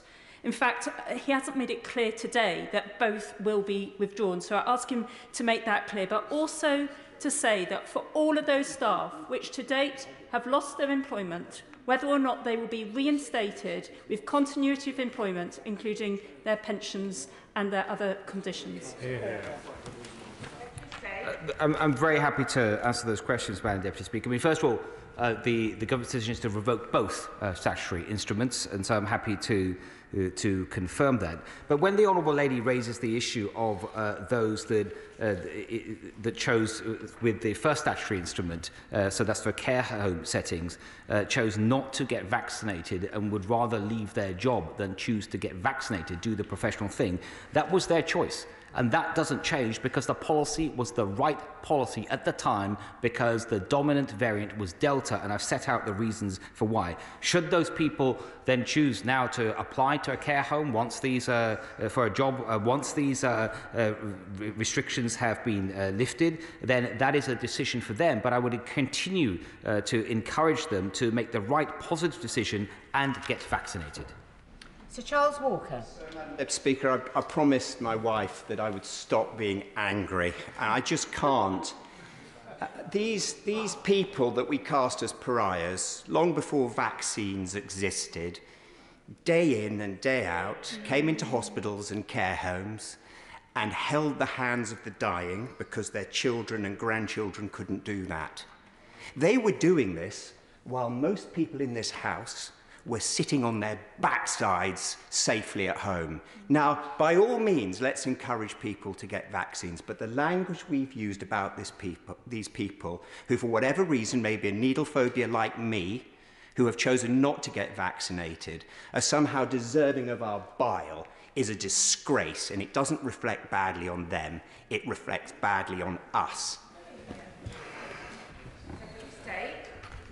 I think my, what I hear from my honourable friend, and I very much uh, agree with him, is that the, an agreement that vaccines are safe, that they're effective, they are our most important weapon in fighting this pandemic. They remain our most important weapon. And the more people that come forward and choose to get vaccinated, not only is it good for them, it is right for the rest of society, their loved ones, and everyone else around them, especially if those people around them are more vulnerable than, than most people in the population because they might be in a care setting or they might be uh, in, in, in, the, in a hospital. And so uh, the, the best way forward is to encourage everyone, through encouragement now, to continue to think of the vaccine in that positive, sensible way and encourage them to come forward.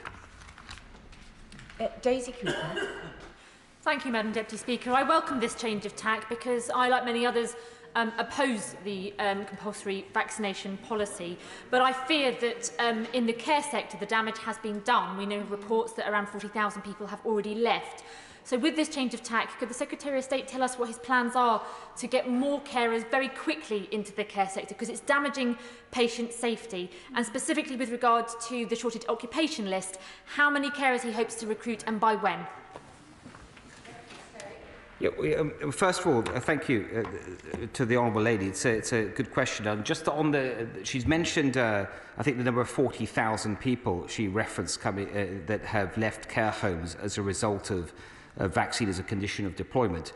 Now, we, I, I can give her more information on that. And uh, the, the, whilst they, there is no exact data because care homes are independent, the, the people working in care homes are not employed uh, directly by the state.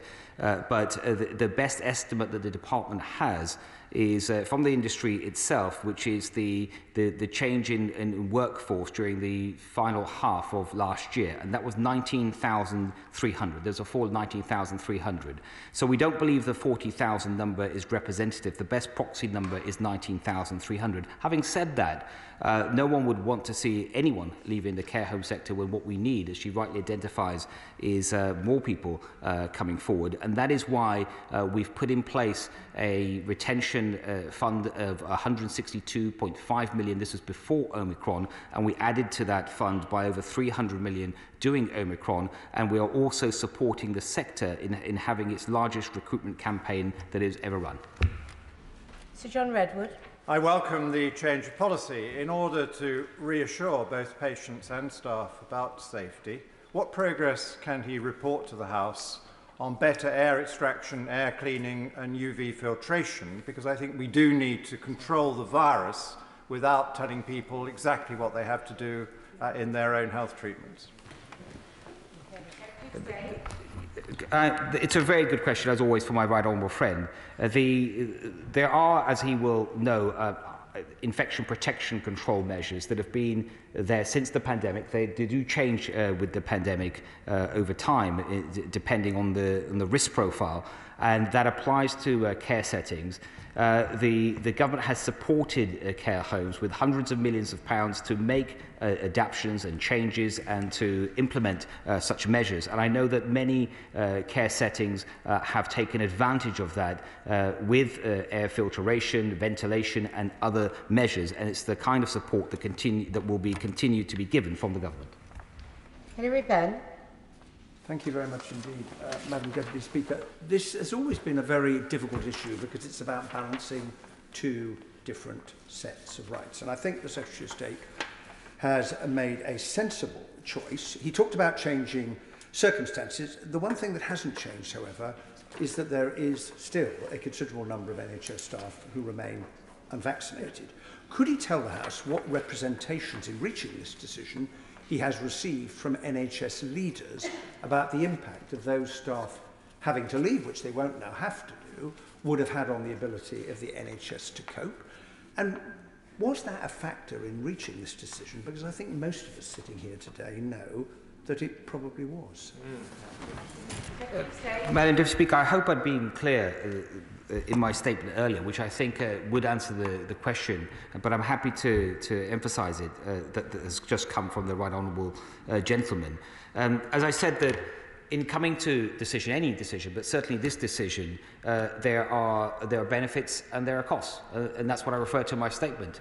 And the, and the cost I was referring to is that there will ultimately be some people that would uh, no longer be employed in the NHS or in care settings, and, and that balance remains important. And because of the change in the variant and the uh, uh, real change in the, in the benefit part of the equation, uh, the scales tilted, and that is why uh, I, I no longer think the policy uh, as set out is proportionate. You're in, Kate.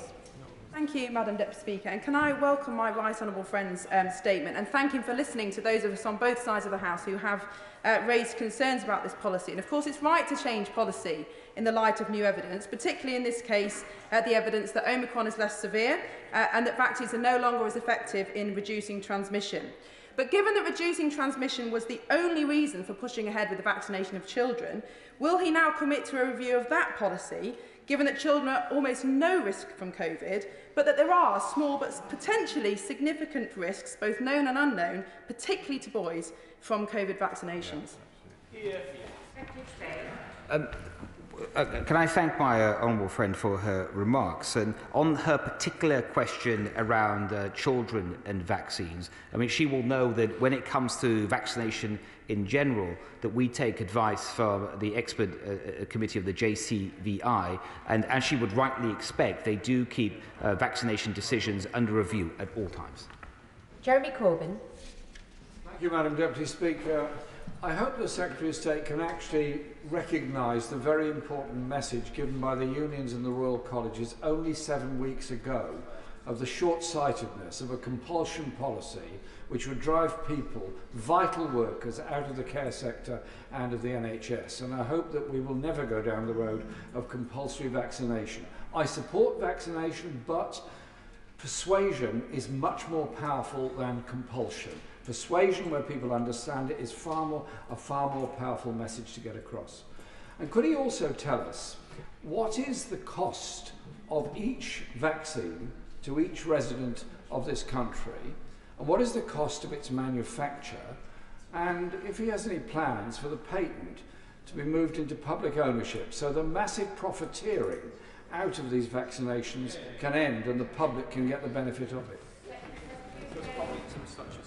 I, where I agree with the right honourable gentleman is on the importance of uh, persuasion in, in, in vaccination. Where I'm afraid I do disagree with him is the idea that public ownership of, of patents around vaccinations or drug development in general would help. Uh, indeed, I think it would be a backward step and we would not see the innovation that has saved lives.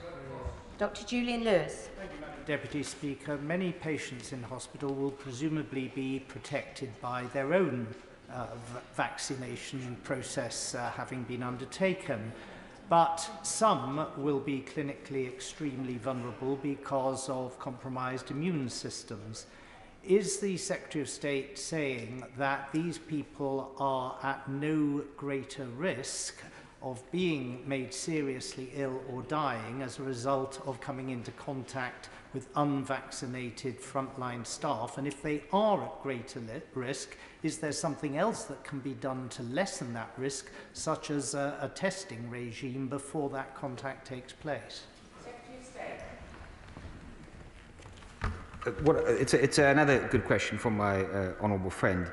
And I will say two things. Is that first, this isn't about um, zero risk, it's about less risk. And what I am saying, uh, based on the advice that I have received, that in general, for the reasons I set out in my statement, whether someone is immunosuppressed or, or, or, or not, that Omicron in general represents less risk.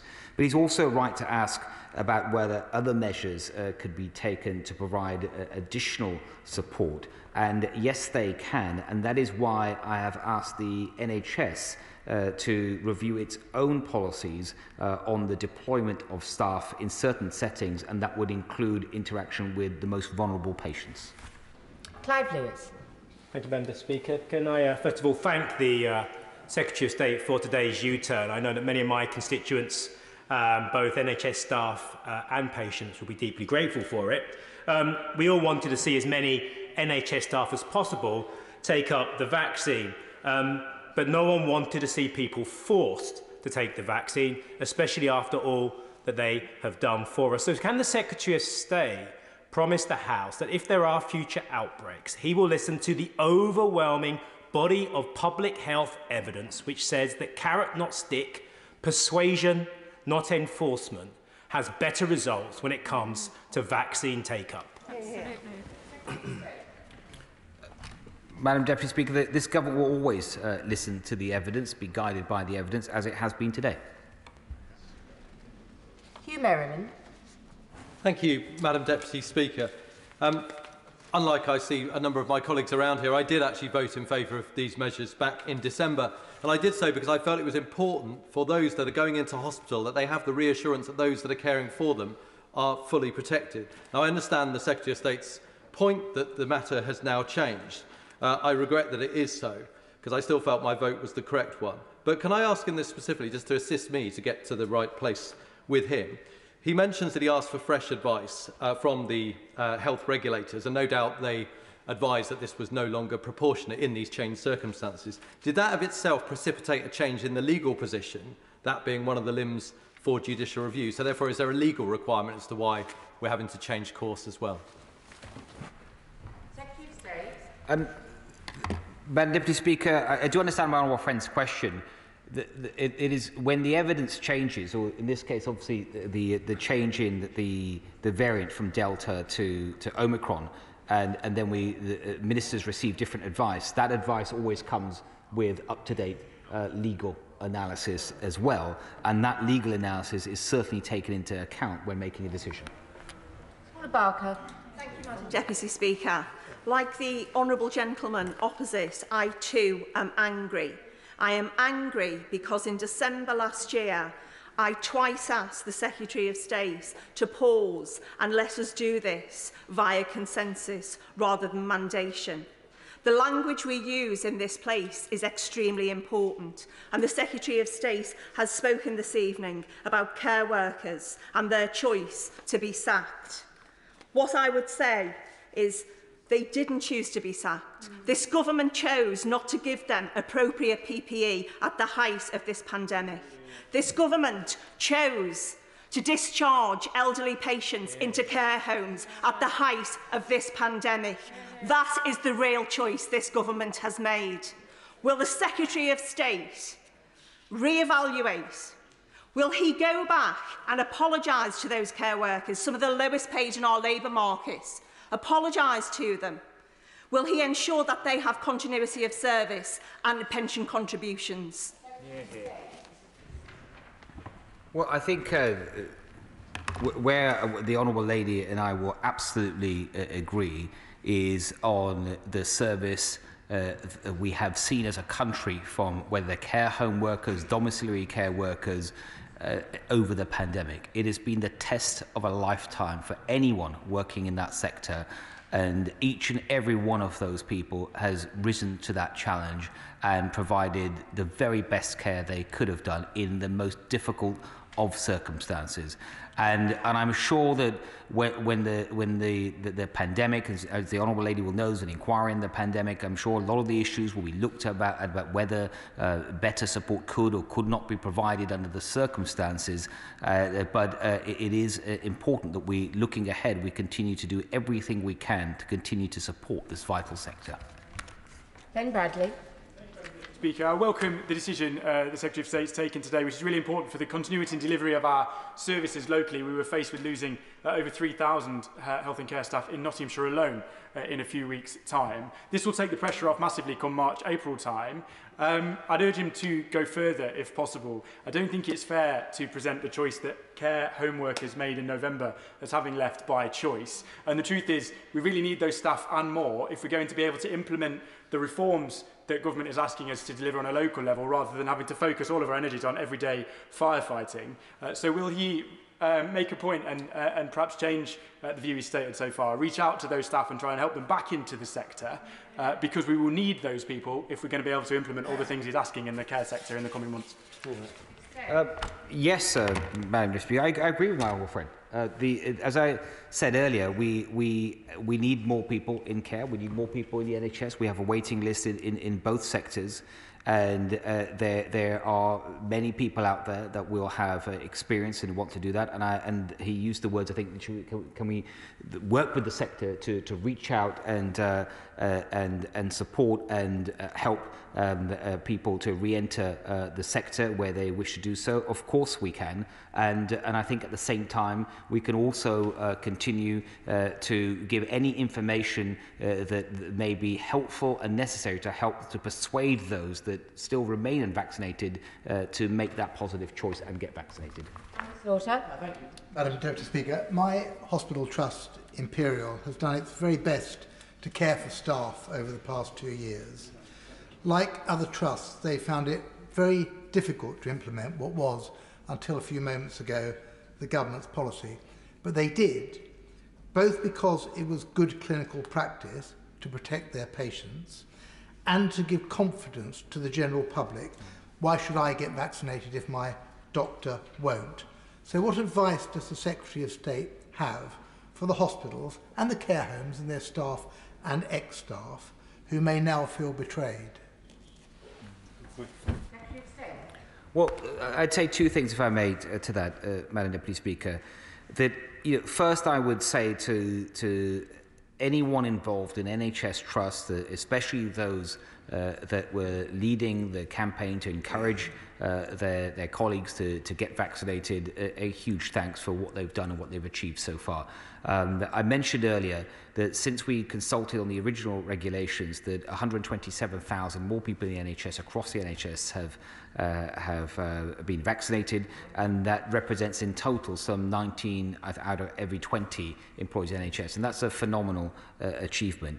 And, and, and the thanks goes to all those working in the NHS that has helped to make that happen and are still uh, helping to make that happen. Because my second thing I'd like to say to them is that your, your, your, your work with our support, with the government support, my department support, uh, continues. And uh, despite the changes today, for the reasons that I've set out, uh, it is uh, still hugely important to, to get vaccinated, and we must keep reaching out positively to those who have not yet, for whatever reason, chosen not to do so, but uh, helping them uh, to uh, make the right decision. Chris Green. Thank you, Madam Deputy Speaker. I uh, welcome my uh, radical friend's statement. Uh, and a number of times in it, he uh, made references to conditions of employment, and he finished uh, by referring to uh, asking regulators to urgently review current guidance to registrants on vaccinations. Uh, what is he going to do to ensure that this does not become compl uh, compulsion for vaccinations by other means? Um, the, the regulators I refer to are independent regulators, so all, all I can do is, is ask them to, to review uh, their regulations. Uh, my honourable friend might be aware that uh, some of the re uh, regulators, such as the GMC, already have uh, requirements against uh, for, for vaccination in certain settings, and that is a decision for them. But as my honourable friend would will, will will know that with these independent regulators, they will they usually would set out guidance and they would allow some flexibility in that how that guidance is interpreted in, in certain settings. Bob Seeley.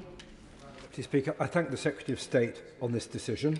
I, I did oppose uh, it in December for reasons eloquently laid out by members such as the Honourable Member for, for Broxbourne, although I was very respectful of the government's position. But I think overall, persuasion is better than coercion, and frankly, honesty is better than the manipulative games which we now hear that the nudge unit was playing, which were entirely counterproductive. Will the um, Secretary of State reassure me Now that we have some breathing space, can we do a bit of forward thinking and prepare a plan for this winter that protects the vulnerable, enables the NHS to continue to treat people, but does so without resorting to lockdowns? Because the idea that lockdown is a cost-free, risk-free option, as we've now seen from 100,000 children who've come off school rolls and disappeared, is absolutely untrue. Lockdown carries an extraordinarily heavy price, and frankly, a lot of the modelling behind it and forecasting has also been extremely flawed. Thank you. Um, what I will say to my honourable friend is that if we look at the experience from the uh, Omicron wave, that going into that wave, uh, in terms of um, actual restrictions on, on people's freedoms, we had the fewest restrictions of any large country in Europe yet we've been the first country to, to come out the Omicron wave and hit the peak. And, uh, and the reason uh, I believe that has happened, the main reason, is because we rightly focused on pharmaceutical defenses, vaccines in particular, of course, uh, antivirals and testing. And I think there's a lot to be learned from that. Final question, Steve Baker. Thank you, Madam Deputy Speaker. Though we may have arrived here by different routes, I'm very grateful that today my right honourable friend and I agree on this uh, policy area. Of course, we also agree that uh, vaccination is the better choice for everybody for whom it, it is safe, they don't have a pre-existing condition. But could I just pick up the issue of language? Because he's used a range of tones about talking about people. He's used some quite soft language about persuasion, and we've heard a range of perspectives about it. But he's also used some very strident language, which my honourable friend for Broxbourne, I think, I think rightly criticised. Could I ask him to just set out for the House what his attitude is to this issue of bodily autonomy and using the law to compromise it? And if he does respect people's bodily autonomy, could I ask him to please select language which is respectful of that choice?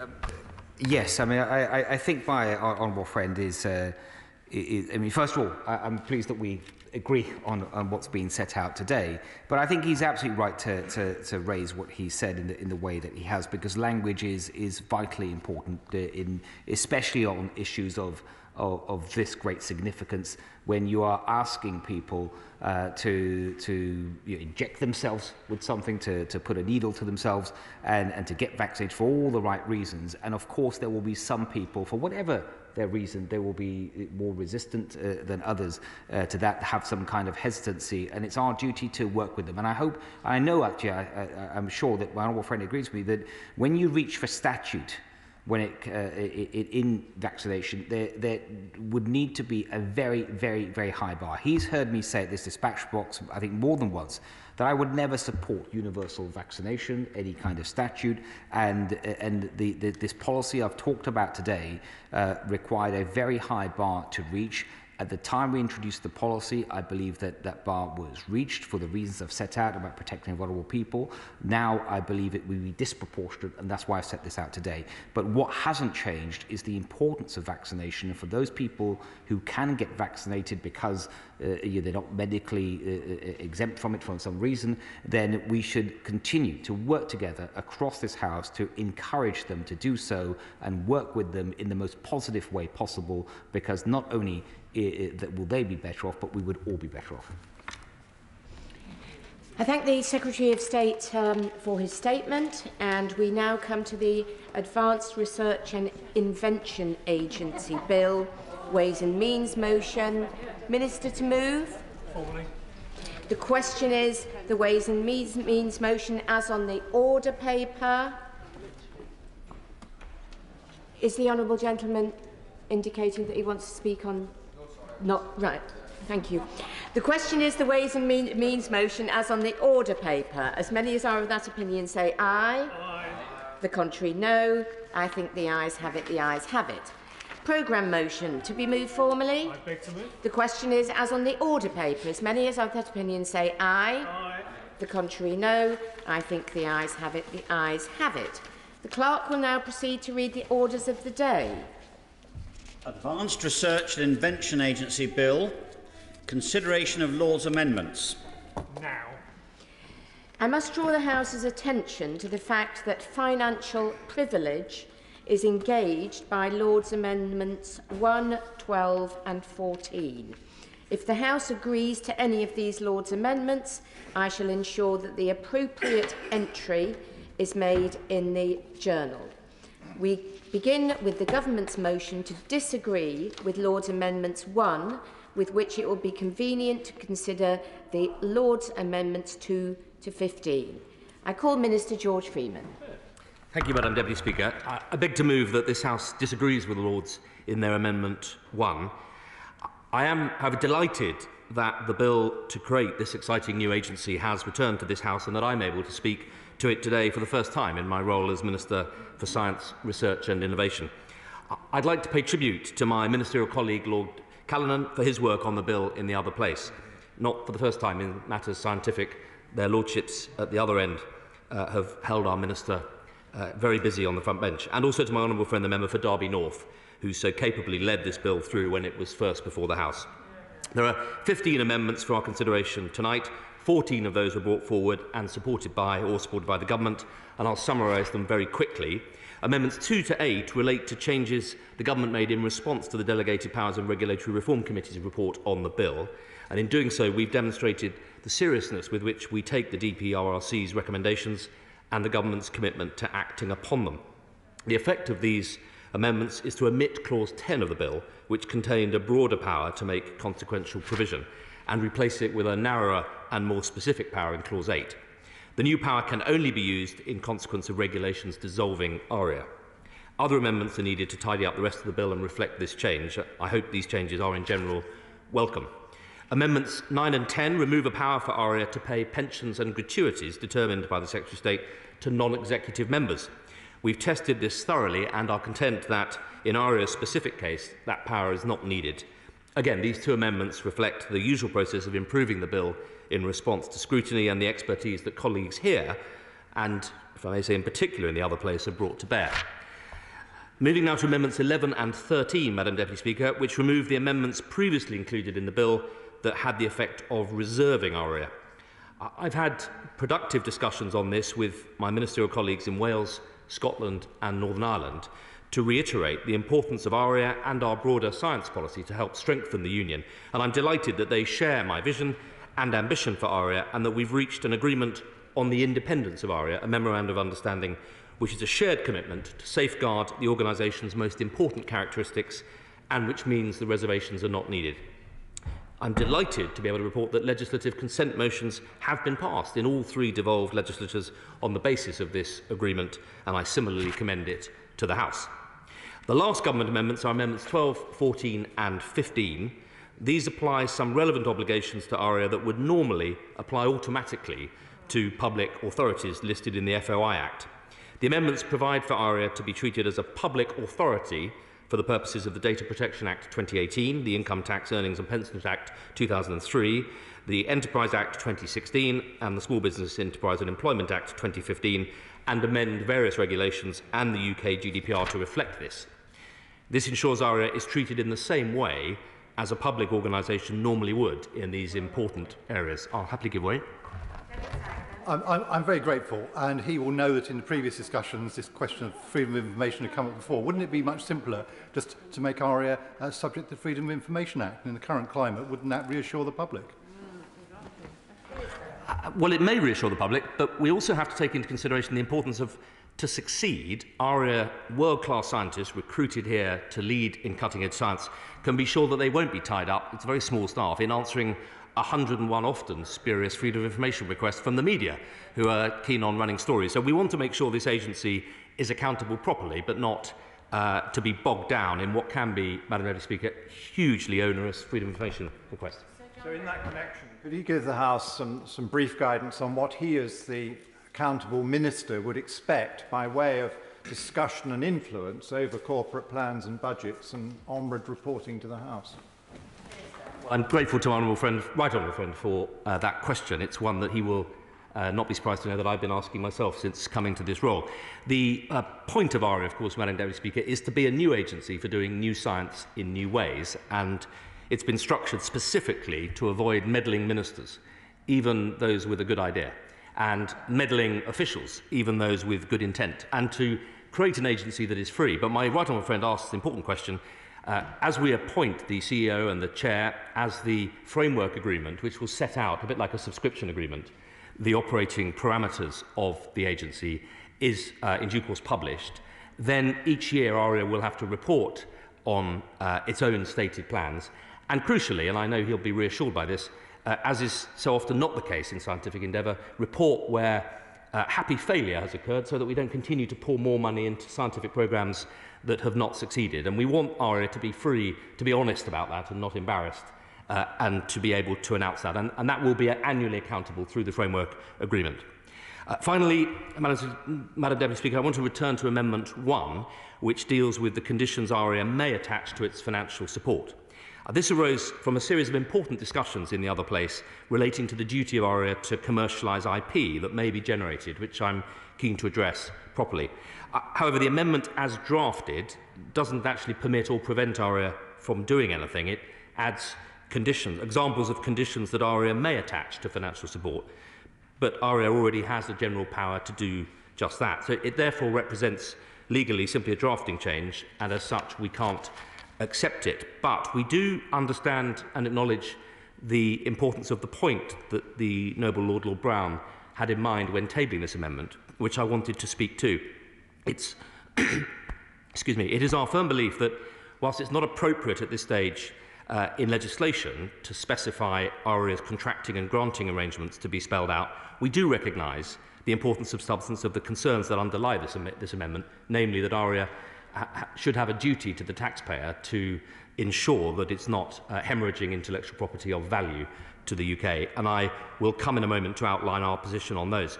The amendment focuses principally on overseas acquisition of IP, uh, relating to the principles on which the government intervenes in foreign takeovers of UK businesses, particularly where those businesses have benefited from public investment in R&D activities. Madam Deputy Speaker, as you'll be aware, the National Security and Investment Act, which fully commenced earlier this month, provides just such a framework. It marks the biggest upgrade of investment screening in the UK for 20 years. The NSI Act covers relevant sectors such as quantum technologies and synthetic biology that have benefited from significant public investment and permits the government to scrutinise acquisitions on national security grounds. This new investment screening regime supports the UK's world-leading reputation for being an attractive place to invest. It's been debated extensively in both houses and very recently, and we don't believe that revisiting those debates today would be productive. Whilst the NSI Act provides a statutory framework, there's also a much broader strand of work underway. As the Science Minister, I take very seriously, as you would expect, the security of our academic and research community. And there have been a number of measures taken in the last few months to strengthen our protections uh, and over the last two years. We're working closely with the sector to help it identify and address risks from overseas collaborations while supporting academic freedom of thought and institutional independence. Uh, members in here this evening won't need me to tell them that intellectual property is incredibly valuable and we face increasingly both sovereign and industrial espionage and it's important that we are able to support our universities in uh, being aware of those risks and supporting them in avoiding them. The bill already contains a broad power of direction for the Secretary of State over ARIA on issues of national security, and that provides a strong mechanism to intervene in ARIA's activities in the unlikely event it's necessary to do so. I'll have to give way. The, the Minister uh, for giving way and obviously welcome him to the dispatch box in relation to, to this bill. Just, just to get my own head around this, he think he, he's saying that ARIA can do this, So the government doesn't need to legislate in that regard, but the government would nonetheless be quite keen to see ARIA do it. There seems to be a little bit of a discrepancy in terms of the thought process there, as far as I... Uh, no discrepancy. I, I, I will in a moment explain why, but essentially the bill already provides for and uh, lays out a statutory responsibility of ARIA to generate economic return for the UK. And he will know, uh, as I have, having had a career negotiating intellectual property agreements, that at this stage it would be wholly inappropriate to mandate statutorily the, the form in which ARIA uh, those intellectual property agreements would take. Uh, to be blunt, we don't yet know what programs uh, the chair and chief executive will put in place. And uh, it's only when we know the sort of science that ARIA is doing that we would possibly be in a position through the framework agreement to set out the appropriate ways to make sure that value is maximised. Uh, the uh, consideration of security issues will also be a core consideration in ARIA's governance arrangements in the framework agreement to ensure its effective functioning as an organisation. I can confirm for colleagues today that the framework document, which deals with those issues, will include obligations on ARIA to work closely with our national security apparatus. Uh, and this is prudent to ensure both ARIA's research is protected from hostile states uh, and actors and to stay connected to the government's wider agenda on strategic technological advantage.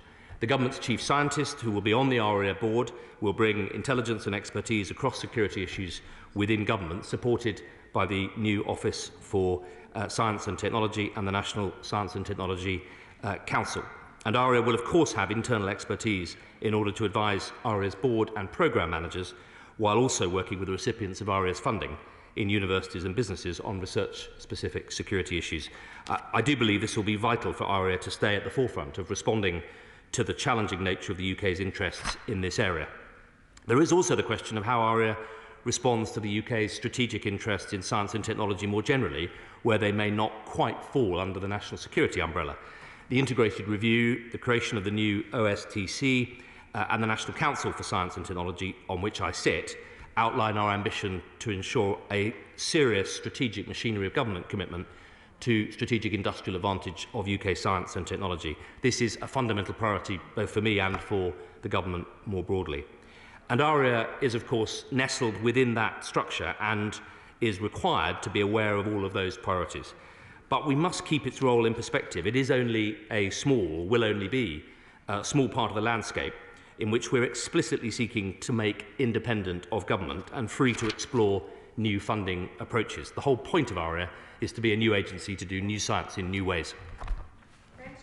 I'm grateful to the Minister and uh, he's been admirably blunt about keeping interfering ministers and interfering officials uh, from controlling or influencing ARIA. But there is also influence from the scientific establishment, uh, who have got their own programs and would like uh, the sums of money uh, in ARIA to go into their